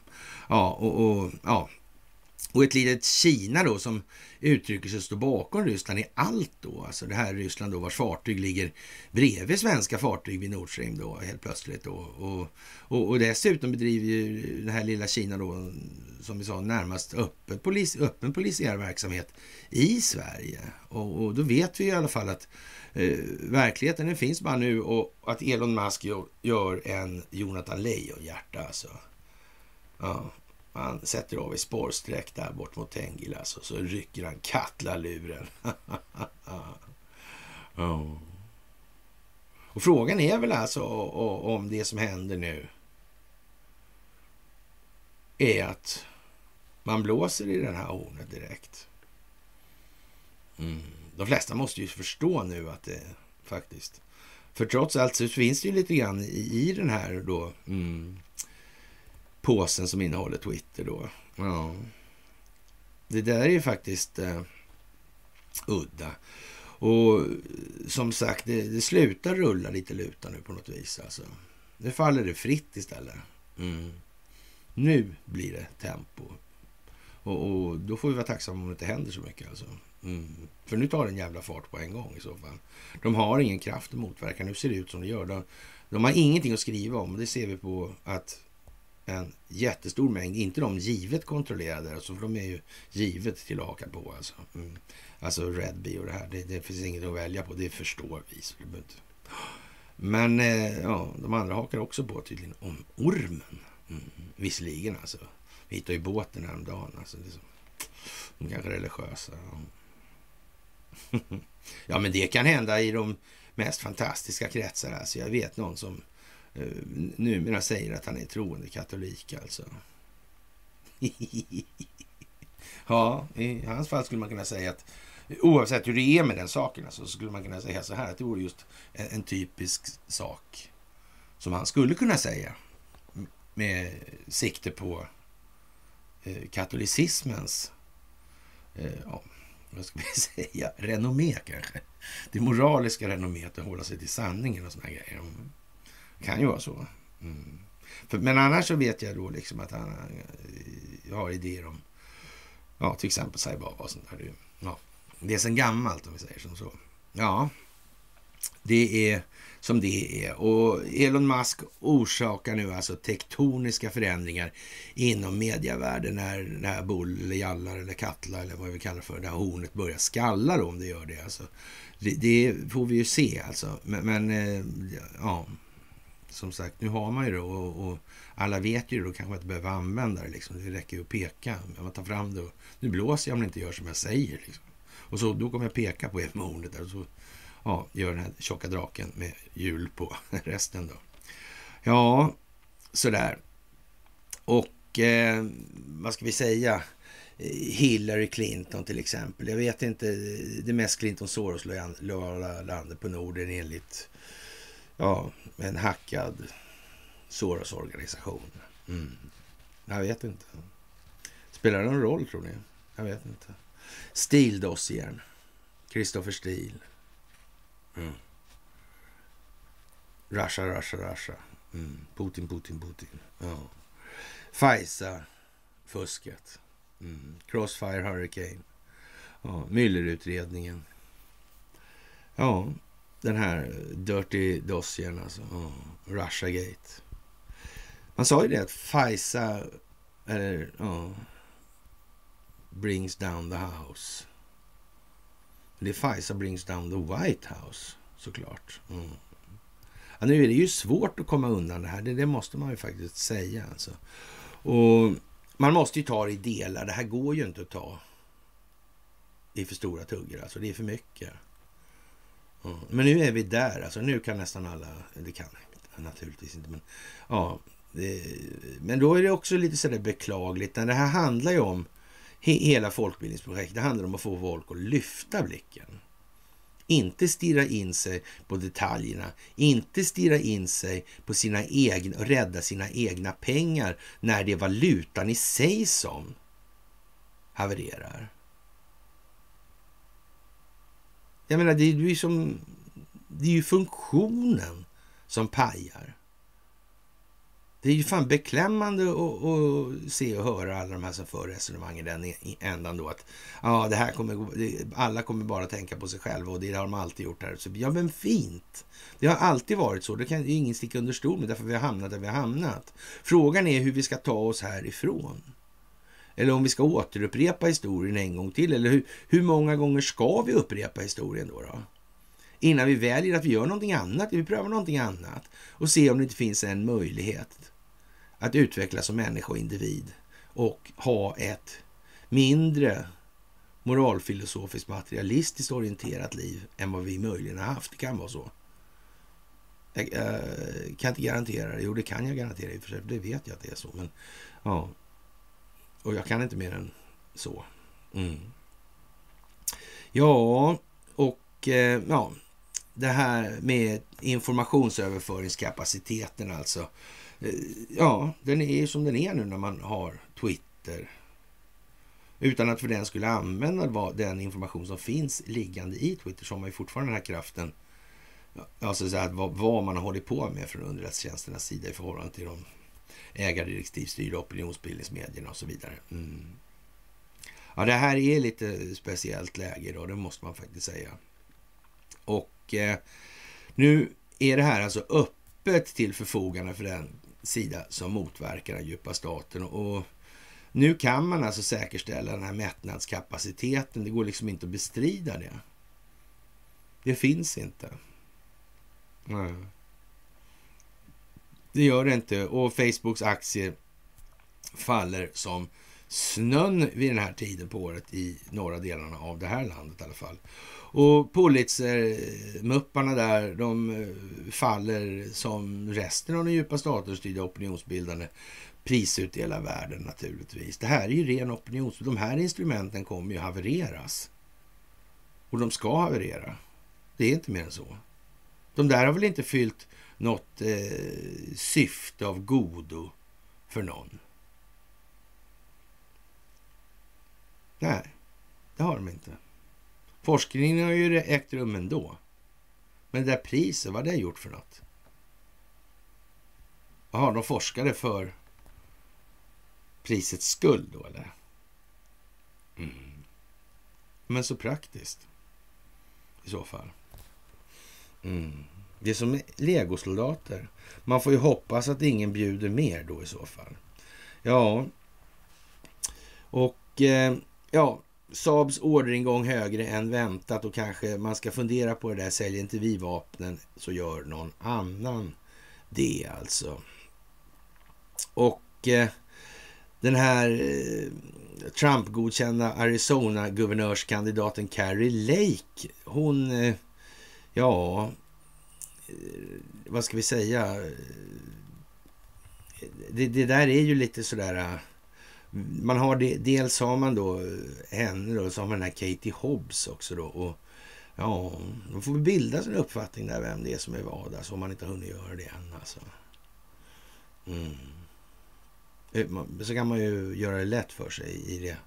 Jag sa då att det är en Trump-godkänd Arizona-guvernörskandidat alltså. Och ja, det här med hur man skapar falska nyheter, det är ju som det är helt enkelt. Och man, eh, ja, i Australien så säger man It's finally happened när Elon Musk har förvärvat det här Twitter-företaget då. Och ja, det är som sagt mycket större än vad man förstår vidden av om man inte har tänkt på det rätt mycket. Och inte ens då är det säkert att man förstår och inser precis allting som underrättelsetjänster och de ägardirektivstyrda opinionsbildning, opinionsbildningsmedierna har ägnat sig åt under en väldigt, väldigt, väldigt lång tid. Alltså. Mm. Det där är en sån grej som är bra att tänka på nu. Alltså. Och det händer alltså en jättemassa saker. Alltså en enorm massa med saker. Sådär. Och eh, ja, The storm is upon us och det är inte så mycket att, göra så här en fredag i oktober, detta nådens år 22 alltså. Och det här, man bör alltså kunna sätta ihop en massa saker. Det, det är ju liksom vad det här handlar om nu. Varför sker det, det där? Varför sker det där, det där, det där? Varför sker de här sakerna nu egentligen? Vad är det som har lett fram till det här? Vad är tanken bakom det här just nu? Varför medieras den här informationen med en viss given värdeladdning. Ungefär som med bonden när man övar alltså de här. Och, och, det var meningen att de skulle tappa den här rullen alltså. Mm. Då gjorde man om hela scenen. Uppdrag granskning, alltså det här seriösa samhällsgranskande programföretaget. Mm. Som är, är gjorda, eller är på plats för att sätta dit uppdragsgivare, sin egen uppdragsgivare. Ursäkta? Inte? Nej. Nej, men det tror inte jag heller faktiskt. Det tror inte jag heller. Det tror jag inte. Och, och på tal om svenskt rättsväsende och inkompetens och korruption och såna här grejer då, så är det ju liksom lite speciellt det här med, med, med Christer van der Kvast och det är det här med Thomas Quick alltså. Mm. Det är ett jävla gäng det där alltså. Då har man Margit Norell med psykologsoffan där, va? förträngda minnen eh, och allting kring det där. Mm. Och så har vi den där jävla tokprofessorn där också. Ja. Samma. Andas barn då. Sakkunniga i domstolarna. Ja, tänk att domstolarna utbildar sig sådär. Det är helt seriöst. Ja, eller hur? Kanske åklagaren också. Jag vet inte. Ja, ja det är verkligt. Verkligt. Men, men det här med eh, alltså, van der Kvast alltså. Var han så jävla tappad? Man kan ju säga så här, i dagens läge och ljuset av verkligheten kan man säga att det är oerhört, eh, vad ska man säga, förbryllande. Det här med att eh, åtta mord då, va? Inge, och, och, och friad från alla, men ändå var han ju dömd för det där. Och då undrar ju vän av ordning om eh, det här lilla rättsövergreppet kanske möjligen eh, skulle kunna rendera i någon form av påföljd, alltså i form av ett ansvar i, i någon form och mening. Och hur kommer det sig att det aldrig någonsin i något enda sammanhang blir på så vis? Man vill inte underminera förtroendet för rättsväsendet, men frågan är om inte det är mer farligt att inte göra någonting. Underlåtenhet att agera ligger ofta en chef mer till last än valet av tillvägagångssätt, så att säga. Mm, var någon gammal drapa som står i något militärreglement eller sådär kanske. Mm. Jag menar, nu äts det ju upp alltså nerifrån här. Nu är det inte någon som... Nu tycker ju alla att det här är skit. Hade det inte varit smartare att, men det är frågan om det. Den beräkningen måste någon göra också. Vad är smartast här nu? Mm. För eh, sanningen att säga det så är det väl inte... Eh, det är inte helt sådär som man, man känner att eh, Ja, alltså van der Kvast liksom. Mm. Jag vet inte. Borde inte han kunna räkna ut massa saker? Han var ju liksom ingen B-lirare på det sättet i åklageriet. Men det också ska man säga så här, är det också en fruktansvärd B-lirare och då är en överåklagare naturligtvis en ja, om man ska säga en blyg signal på att inte allting står riktigt rätt till inom det där skrået. Mm. Och då undrar man ju liksom hur, hur den myndigheten egentligen har det med sin moraliska skolning.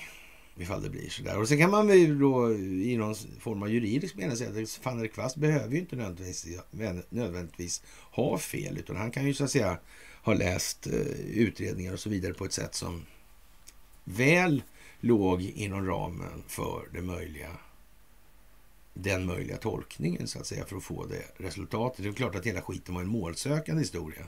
Men frågan är alltså då med vilket syfte? Har han gjort det här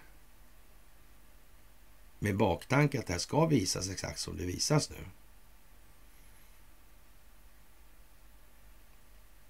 Ja, jag vet inte. Jag vet inte. Det där är ju lite speciellt. Alltså. Man får ju alltså förstå att det här är någonting som har planerats sedan mycket lång tid tillbaka och som jag har sagt 10 miljoner gånger och kan säga det en gång till. Eh, man måste ha förstått det här senast 1931 om man inte var helt dum i huvudet. Alltså. Det är bara så. Mm. Ja, det är... Skulle han verkligen ha suttit så hårt hållhakad? Alltså, jag blir mer tveksam till den delen. Alltså. Och, och sen har han varit i, i Umeå. Alltså, han är ju liksom ett paradexempel. Jag menar, hur fan om man... Det här mönstret är ju uppenbart. Mm. Jag menar, då, alltså, trodde de inte att de lämnade spår efter sig ingen skulle upptäcka att de hade mucklat och micklat på olika ställen och att de kände varandra. Alltså, ingen kände varandra, som vi brukar säga på föreläsningarna. Ingen känner varandra alltså. Trots att alla kan se att de känner varandra. Mm. Broderskapsrörelsen där. Claes Borgström. Thomas Bodström. Mm. Heidelberg Cement sitter ihop med den här också. Mm. Lafarge. Mm. Mm. IS-terroristfinansiering. Det är inte så jävla stort. Nej, nej, det är ju inte det. Jaha, och det är alltid svårt att värja sig från att Tucker Karlsson, Tucker Karlsson, eh, den senare alltså, det, eh, nej, det är Y, det är Y det då. Just det, lyssna på mysen och förstår svenska och han har ju som sagt en svensk namn och, och, och jag vet inte. Det där med dieseln alltså. Mm. Det kanske är dags att sätta på sig vuxenkläderna för många nu och sluta lalla med den här jävla miljöskiten. I så mått då. Visst, eller klimatskiten ska jag säga. Och, och, och istället börja koncentrera sig på miljön alltså. Mm. Ha, för, för alltså har vi i, ingen eh, miljö alltså. Mm. Då, då, spelar ju klimatet inte så stor roll. Liksom. Har vi en obeboelig miljö, då har vi ju det. Mm. Men det har inte generat någon miljörörelse, eller eh, så kallad miljörörelse. Nej. nej. Klimattalibaner. Mm. Ja, det är som det är helt enkelt. Och ja, som sagt, eh, ja, det här med Anders Lindberg där, eh, ja, eh, han skriver i Aftonbladet då att Kristersson kan inte bara eh, sluta ljuga lite då? Nej, nej. Jag vet inte vad man ska säga om det här. Mm. Det är klart att Kristersson är ju inget bra exempel på moralisk föredömlighet. Det är han ju inte. Nej. Det är uppenbart i vad som syns. Det är så jävla uppenbart som man får ställa sig frågan, är det verkligen så här uppenbart? Det får man fan fråga som det är det. Som sagt, det, det är inte säkert så lätt alltså. Och, och, ja... Ja, när två skojare möts så ler de igenkännande, ja. Det kan ju vara så. Mm. Och som sagt, eh, Peking ligger där det ligger och Washington ligger där det ligger och det gör Kreml också. Mm. Som sagt, eh, det är lite udda nu faktiskt. Inte så lite heller. Och det här med New York Post blev hackat då i eh, ja, ett tweet som uppmanade till att man skulle mörda Biden alltså. Oh. De skulle mörda president Joe Biden. Men hur blir det där egentligen om inte Biden är president? Har man uppmanat till... Jag vet inte. Det där är ju lite konstigt. Mm. Ja. Jag vet inte. Sådär. De oseriösa tweetarna tog bort sent på torsdag morgonen. Ja.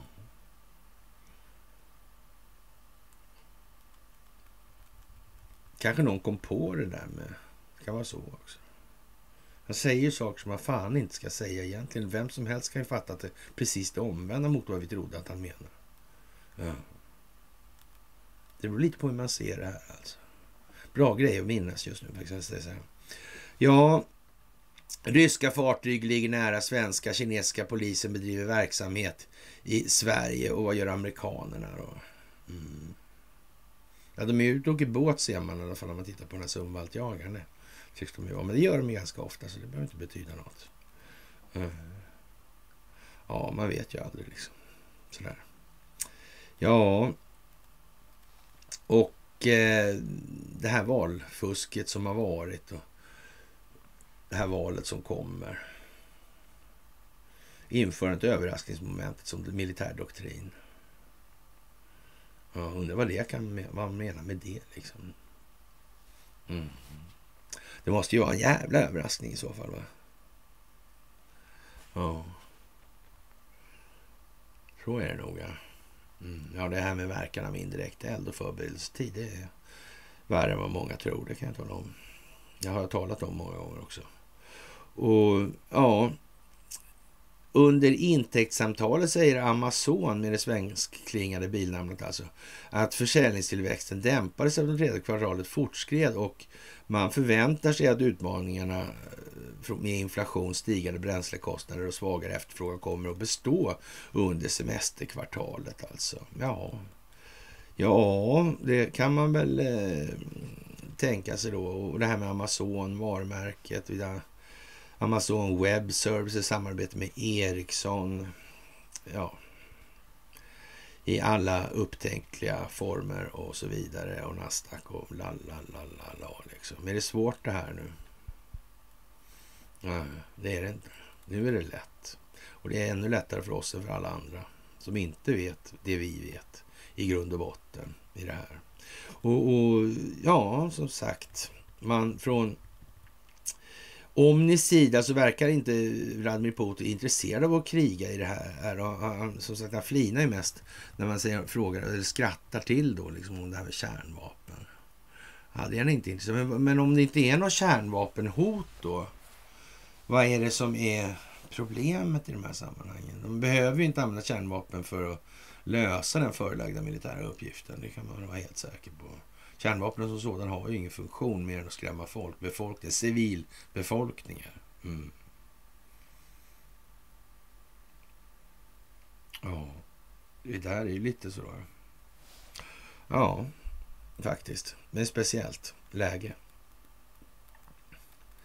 Det är ju lite så alltså. Anna-Lena Laurén i en... Ja. Talet gav intrycket att han inte är så intresserad av att fortsätta kriga i Ukraina. Han pratar inte längre om att fälla den ukrainska regeringen. Alltså. Ja, jag vet inte, Anna-Lena Laurén där. Det är väl lite sådär speciellt alltså. Ja. ja, nu är det lite svårt alltså. Och som sagt, eh, ni som inte har kollat tankar från havet den 27 oktober med Stensö där, gör det. Det, där är liksom, ah, det låter likadant i och för sig, sådär, men, men ändå, alltså det lite komiskt. Sådär. Ja, och eh, ja, Zuckerback där. Det går smått med stålarna det verkar som. Han är inte utfattig men, men ändå alltså. Mm. Vad blir det av det här då? Ja, det kan man verkligen fråga sig i det här läget. Det kan man fråga sig. Och president Vladimir Putin kritiserar väst och det verkar väl närmast vara ett tjänstefel att inte göra det i det här läget den här västhegemonin som består av institutionaliserad korruption som har slagit klorna i resten av planeten under ett antal hundra år. Mm. Ja, men det finns fog för kritik alltså. Det ska man ha riktigt jävla klart för sig alltså. Och det här med Wuhan och Fauci och så vidare. Nej, det går bort alltså nu. Nu måste vi försöka få upp blicken. Höja blicken. För det, alltså har man de grundläggande, eller så att säga, övergripande parametrarna, då är det mycket, mycket lättare att förstå vad som händer i de snävare perspektiven. Så är det också. Det måste man minnas nu alltså. Det här handlar om att människor ska lyfta blicken, inte lära sig en massa skit om ja, olika specialistämnen hit och dit. Mm. Det måste vara först bredd och sen djup. Mm, eftersom det ena ger det andra då, så att säga. Jaha, och Elon Musk, han eh, undrar lite grann om det här med annonsörerna här. Vad är det de har betalat för egentligen? Mm. Och han har ju i sin tur då skaffat sig finansiering hos en rad banker. Undrar om de där bankerna, just de, har jättegod soliditet vid ett valutahaveri. Ja, jag vet inte. Det kanske är... Det är fräckt när man med kanske att säga så. Jag vet inte. Det kan vara det. Ja det är som det är helt enkelt. Och elbesvikelsen i södra Sverige, missnöjda med, med de här pengarna då hit och dit. Och, mm. Eller ska vi göra så? Kanske det är bättre att vi tar det här gamla systemet och startar om det och, och, och sen överlåter och ser hur länge det håller nu. Fast nu är det ett problem då. Nu är det väldigt många som förstår hur det här fungerar och de skulle naturligtvis ta höjd för eh, det som kommer direkt där. Det skulle ju bli, ja, det handlar om vilka som förstår bäst alltså då. Så det blir samma sak fast det kommer gå oändligt mycket snabbare. Alltså det här som tog hundra år med det här då, då. Eller vad man ska säga. Mm. Det kommer inte ens ta fem år den här gången. Eller två, tre år. Nej. Så är det ju. Och så ska vi göra det nästa gång. Då kan vi hålla på i en månad kanske. Vad sen då? Vad gör vi då? då? Alltså det verkar inte finnas så många vägar framåt. Mer än den som går igenom oss själva och vår förståelse för att våra egna känslogrundande värderingar inte har varit så där helt lyckade längs hela resans gång till hit där vi nu befinner oss. I verkligheten alltså. Mm. Jag vet inte. Jag tror att det här börjar klarna för många nu. Det är jag faktiskt rätt säker på. Faktiskt är jag helt säker på det. Jaha, och Eh, ja, det är många som en pensionär har inte råd att strunta i räkningarna och, och ja, man ska säga, det är klart att folk är oroliga hit och dit och sådär, men eh, och samtidigt kan man inte bara hålla på och titta på övergripande. Man måste ju ha liksom markkontakt i alla fall då i det här. Men man ska nog ha eh, så lite markkontakt som möjligt och ägna sig så mycket som möjligt åt att bygga på vidvinkeln alltså. Jag tror det. Det är fantastiskt. Och eh, elanvändare i norra Sverige blir utan ekonomiskt stöd av regeringen i ny, nya elprisstödet. Där. reaktionen i norr på eh, ja, det här det är att vi som producerar borde väl få en del av kakan. Och, och det är väl i alla fall eh, tack och lov alltså. Eh, ja, det är klart de ska, de är ju giriga. Man får ju slå på det alltså. Vadå, ska de få det här som vi gör i, i Skåne då? Så ska inte vi få någonting. Vad är det för jävla dumheter? Hur fan ska man få de här att reagera annars? Det är ju som jag sen trodde då, den humoristiska 17 kronors gränsen då. Eh, lite Q-anstrykning till och med på det här. Jag trodde liksom att ja, det här går ju klart liksom. De kommer att fatta. Nej, det kommer de inte att göra. Det var helt fel av mig. Sådär. Mm. Utan det får bli så här och sen får ni nästan då, eh, ja, opinionsbildningsmedierna som SVT och sådär, de kanalerna, de får ju liksom skriva i öppen text liksom. Nu blir de skitförbannade i Norrland. Ja. Yeah, yeah, yeah, gäse, gäse. Ja. Sådär. Mm. Och, och, och, bara det liksom att de sätter, eh, ja det är ju verkligen en flanellis och, och, och sen en eh, trucker keps liksom. Ta av dig din trucker keps. Ja, de har redan så mycket billig el och så mycket gles och landsbygdsstöd så deras del av kakan måste väl ändå räcka till, tycker en änglalik Conny som vanligt då. Fantastiskt. Ja, men man kan väl säga så här att man, man, man, har passiviserat Norrland rätt effektivt liksom och tagit bort varenda incitament till ja, kampvilja eller vad man ska kalla det. Det finns inget, ingen självbevarelsedrift kvar. Det finns liksom ett päsande och kolhydratstörstande, jag vet inte vad helt enkelt. Det är helt hopplöst det där faktiskt. Och, och det finns klara utrymmen för förbättringar där. Och ja, vad ska man säga? Det, det, ja, det går ju, kommer ju tillbaka till det där hela tiden också. Jaha, och eh, ja, energi och näringsminister Ebba Busch kan få norrlänningarna att få upp den knutna näven ur fickan en gång för alla. Alltså miljardstöd till elkunder i södra Sverige. Och det är ju det det här handlar om. Alltså det går ju ut på att folk ska reagera. Man ska väcka ett engagemang. Man måste få folk att tänka efter, resonera med sig själva i termer av sina egna känslogrundande värderingar. Vad fan är det här riktigt verkligen? Alltså, tycker jag verkligen så här att jag vill ha ensam kvar på jorden, inte ens en varelse i övrigt alltså som ska ta någonting i anspråk. Jag ska ha allt ensam på planeten. Alltså det vill du inte? Nej, nej okej. Okay. Ja, men du, hur många då ska det vara? Ja, jag måste tänka på så. 500 miljoner. Ja, ja ah, du menar New World Order? Ja. ja, ja, men så kan det ju vara alltså. Mm. Ja, jag vet inte. Det är klart att speciellt alltså. 93 procent av världens pengar finns på eh, bankkontona för åtta familjer. Alltså resten av populationen slåss om eh, de här sju procenten. Och, och, har man sett det här då, och det kan man säga så nu ska vi kritisera den här lite. Eh, ja, vi säger så då, att eh, de här pengarna då på bankkonton, men vad är de värda utan telekominfrastrukturen? Då? Hur mycket pengar finns det på konton idag? Vad är det ens för någonting? Vad pengarna finns ju inte. Det är ju digitaliserade. Alltså det, det är ettor och nollor i datorer. Så? Vad, vad är det som hindrar att man gör det där till noll eller att det blir noll av sig själv? Eller, eh, ja. Eh, alltså den här typen av, vad ska vi säga, retorik alltså. Eller semantik kanske rent utav.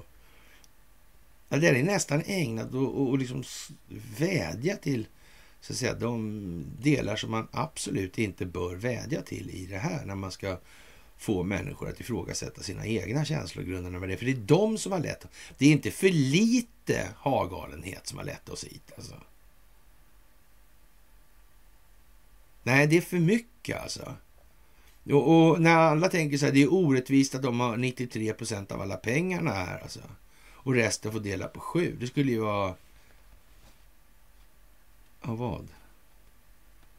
Ja, men om de hade 93 procent av pengarna och alla, det räckte till alla andra liksom ändå. De var, men när ska någon vara nöjd och varför? Hur mycket ska någon ha? När blir något nog? Ja, det här måste man fan, liksom, man får inte glömma det här i det här läget. Nu när det liksom är, för om man säger så här, det finns ingenting som är så dåligt som en dålig förlorare naturligtvis. Utom en sak som är ännu sämre. Det är dåliga vinnare. Även om det är liksom aldrig så frestande att säga vad var det jag sa. Alltså, men det här kommer inte vara det läget. Man kommer få dyrt betala för varje sån utsvävning man tar sig längs den här resans väg. Det kan ni vara helt förvissade om alltså. Mm. Och, och, en, sak som till, en sak till man ska tänka på nu också i det här, det är ju att den här övervakningen vi vet att den djupa staten gör mot människor i samhället, i det här landet och i andra länder. Mm. Den övervakas. Mm. Så är det. Så det är liksom inte bara en ytterligare part, det är två minst. Ja. Och det kanske man ska tänka på när man försöker ha framträdande roller i de här sammanhangen. Europeiska centralbanken höjer styrräntan med 75 punkter. En så kallad trippelhöjning. Den nya, styr, nya räntan är 2% alltså. Och så flaggar man för ytterligare höjningar. Och det här är ju då den stigande inflationen i euroområdet säger man så. Den är uppe i 10 procent. alltså. Och ja, vad ska vi säga? Vi, vi, förväntar oss att de kommer höja säger man från olika håll här. Och, och ja, ECB då, ja, vad ska vi säga? Då blir man har problem med kostnadsförsörjningen för skulderna. Alltså. Mm. Räntekostnaden är det det handlar om. Alltså. Mm. Då höjer man räntan, då blir belastningen mindre då alltså, eller? Nej, den blir inte det. Men ändå så verkar det precis som att folk inte... Det är för svårt. Det vill de inte. Liksom. De tänker ju på sina pengar. Liksom. Så det, det, är bara det de är intresserade av. Ja. Men då tycker jag, då är det nästan lätt lättare då att man, så byter man bara, byter man namn på de där eh, ja, 100 datorerna. Så får folk behålla då liksom. Sen kommer man inte kunna använda dem till något, men det spelar kanske ingen roll då. De får ju behålla sina pengar i alla fall. Och så guldet blev till sand, sa någon. Nej. Ja, jag vet inte faktiskt vad jag menar med det där riktigt. Jag har inte hört det så många gånger faktiskt. Sådär. Ja, kära ni. Och Kina eh, kör igång alltså nolltolerans mot covid och eh, ja, för 800 000 människor i Wuhan. Mm. Ja. ja. ja. De behövde verkligen en sån där pandemi, det kan man säga. De vill inte tjafsa om någonting och västvärlden kan ju inte gärna kritisera Kina för att köra diktatoriska fasoner när det handlar om covid.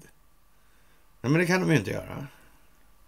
Och liksom... Eh, och det har man ju faktiskt funderat på rätt många gånger. Fram här, om man har sett det här under lång tid och sådär. Och undrat lite grann, vad fan kommer det så att ingen liksom... Borde ju, det borde ju få fäste på en gång liksom. Ja. Och, och, och då kan man ju andra sidan säga då, jag har suttit och sagt många gånger, men, ja, men alla de här grejerna är ju, är ju liksom kulisser för att dölja då det, den faktiska omständighet som utgörs av att det valutafinansiella systemet är skuldmättat. Därför försöker man med eh, ja, pandemikulissen och krigskulissen och miljökulissen och klimatkulissen och alla möjliga kulisser, liksom inflationskulissen och sådär. Mm. Det är ju så. Ja. Och, och, så vill man gärna ha in lite drakoniska eh, befogenheter och sådär. Mm. Men att man inte liksom tänker så Och så som sagt men de samarbetar nog de här. Då. Så. Ja, och, och du kan inte, du kan inte liksom... Då finns det de inom alternativen som fortfarande inte kan acceptera då att det, det är nog förmodligen så att de gör det, alltså samarbetar. Mm. Så är det nog, ja. Kanske, ja. Men, men det är inte så att Kina, hur fan ska man få ordning på det där i Kina? Vad ska man hitta på liksom? Det har varit stök där förr om man så säger. Ja. Och det vet man. Och, och det här är alltså i slutet på den veckan då den ja, kinesiska kommunistiska partiets kongress förkunnar att eh, nu kontrollerar vi korruptionen. Den kontrollerar inte oss. Nu kontrollerar vi den och vi måste fortsätta verka, agera och så vidare för att möta de problem som annars uppstår. Ja. ja, vad kan det bli av det här? Det är en fantastisk tid alltså. Det, må, det måste man säga alltså. Och eh, ja, det här är ju speciellt det här, som sagt, ryska båtar bredvid de svenska och så vidare. Och, eh, ja, det är perfekt det här nu när då kungen åker på semester på höstlovet här nu. Och Sverigedemokraterna är inte med i regeringen och sitter på eh, en rad olika positioner som, ja, vad kan man säga, så då har jag, jag vill jag gärna påpeka det att jag har under ganska lång tid eh, framhållit det här, alltså med eh, den sverigedemokratiska utrikespolitiken. Jag menar, historiskt sett, är det någon som minns något utspel där? Alltså som inte är en migrationsgrej. Alltså så. Ja. Mm, och, och med förståelse för den i, i botten, så den verkar ju vara lite syrra. Men det, vi, vi, vet inte det riktigt. Så, ja. Som sagt, det är lite som, grann som en militär. Det vill till en jävla förklaring här alltså. Om det inte ska bli ett flatgarv bara alltså. Nej, jag tror inte det. Ja, hur som helst, då är Björn Söder och sen har vi då den här superstjärnan där. Va? Hon som verkligen har, har förmått att hamna på Youtube-klipp. Alltså. Mm. Ja. Julia Kronlid alltså. Jaha. Ja. Ja, men det där är ju lite speciellt alltså. Men för att göra det hela bättre då naturligtvis åker kungen på potatislov alltså. Mm. Och in kliver då inte Karl Carl Victoria höll jag på att säga, men menar Victoria i alla fall. Mm. Nej, hon har annat att göra. Ja. Mm, in kliver Carl Philip på scenen. Han har veckans kungaskap här alltså. Han hoppar in som kung över Sverige när Karl XVI Gustav åker på en höstlovsresa till Brasilien. Hon har ju lite påbrå därifrån. Och, och, Brasilien är ju liksom en riktig ja, svensk koloni skulle man kunna säga. Har varit i alla fall. Ja. Och det kan ju vara så att det finns en del offentliga åtaganden eller ska vi drista oss till att säga påtvingade åligganden i saken. Mm. Av historisk natur kanske. Den här pappa Walter där. Ariseringsprocess. Och så vidare. det där sitter ju djupt i Brasilien. Den här Ira Levin, uh, pojkarna från Brasilien. Mm. Gendårar alltså. Undrar om de har CRISPR där. Det tror jag inte. Eller? Alltså de har hela företagskoncernen där i övrigt. De skulle inte... Jo, alltså ja, jo, det är ju så. Mm, det kan nog vara så. Ja. Mm. Men det där är ju speciellt alltså. Jaha, och eh, ja, vad ska vi säga egentligen? Hoppa in som kung alltså. Det där är ju lite... Mm. Vi får hoppas, som Stensö sa, att det inte händer någonting eh, anmärkningsvärt så, av sån natur att inte Carl Philip med hjälp av sina trogna rådgivare förmår att hantera situationen för landet Sverige, eller befolkningen i Sveriges bästa. Så alltså. Om man sen skulle behöva offra Investor och lite såna grejer. Eller? ja, ja, vi får se vad det blir av det där. Men det är i alla fall upplagt för något kul alltså. Det skulle se ut som det skulle kunna bli ett skämt det där. Rakt av alltså. Jaha, och Sverige bör kalla upp Kinas ambassadör för att markera att den hemliga polisstationen som landet uppges driva i Stockholm, det är oacceptabelt alltså, det säger Ove Bring, professor i internationell rätt vid Stockholms universitet.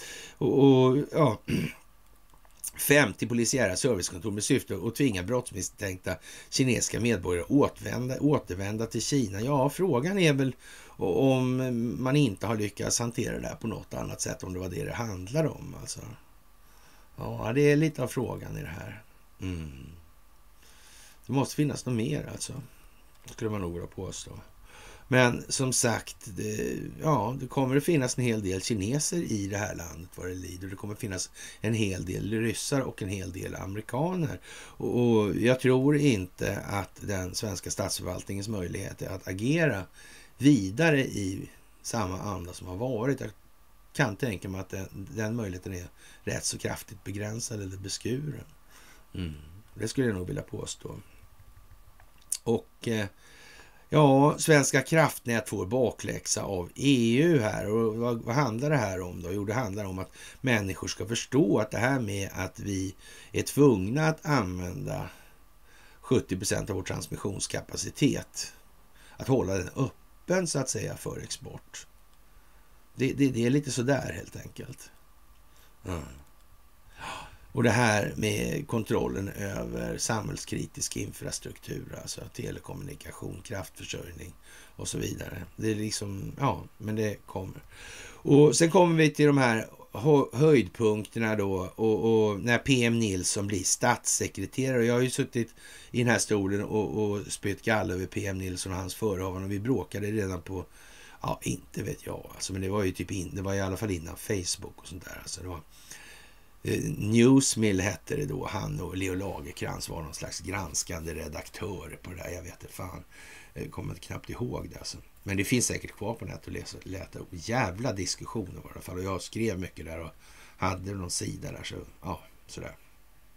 Och och det var väl lite sådär, inte alltid sådär jävla våldsamt populärt kan man inte påstå Där. Men sen upphöjdes de här två lökarna efter att ha bråkat med mig några år där.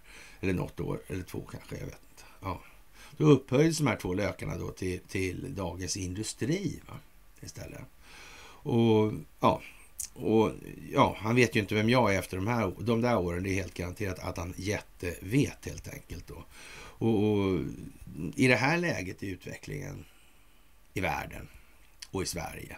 Så kommer det inte som någon direkt överraskning PM Nilsson blir statssekreterare. Han har ju till och med slängt ur sig det här beryktade, bevingade uttrycket numera. Alltså, eller med, med ja, skitiga vingar då kanske, möjligen. Ja. Och, och eh, att Wallenberg drivs av en eh, stillsam patriotism i sitt företagande i allmänhet och när det gäller krigsindustrin i eh, synnerhet. Mm. mm. mm. Ja, ja. Ja, ja, det är väl därför de här PV-kanonerna nu dyker upp nere i Ukraina antar jag. Och då undrar vi blygt om inte Corner ska ha en plats vid bordet i de här sammanhangen. Alltså, det är klart att PM Nilsson blir statssekreterare alltså, i, i det här sammanhanget. Det, det, är ju liksom... Ja, jag vet inte. Det är väl det, en av de som vi har raljerat med mest i det här. Och det passar ju ganska bra att han får den här framträdande rollen nu på något vis. Det blir liksom Antingen så kommer vi då, eller några undertecknade till exempel, och så framstå som inte bara konspirationismens härförare utan faktiskt den eh, mänskliga idiotins främsta härförare mer eller mindre. Alltså. Antingen är det rätt kraftigt eh, eh fel ut eller också är det liksom rätt så precis på bollen. I, ja, i, ganska ensamt format då, om man säger som så. Eftersom det är så in i helvete lång tid. Alltså, eh, åldern har en tendens att döda människor förr eller senare. Så, där.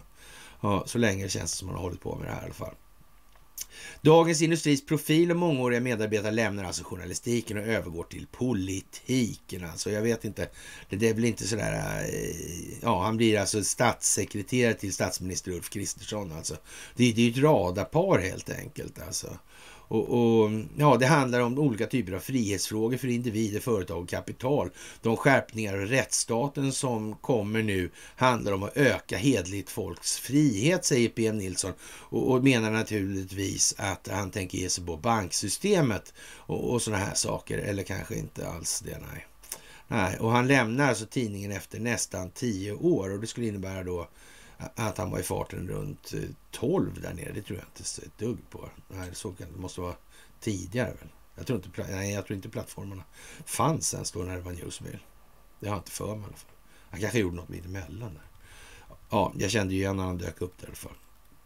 Och eh, min uppgift blir att påminna statsministern om att regeringen håller de långsiktiga linjerna vid liv eh, mitt i alla akuta ärenden då som ska hanteras. På det sättet påminner arbetet lite om ledarredaktionens ansvar alltså. Mm. Han måste se till att man håller den eh, lämpliga kosmetiska inriktningen på de värdeladdningar på informationen som man väljer att förmedla. Alltså.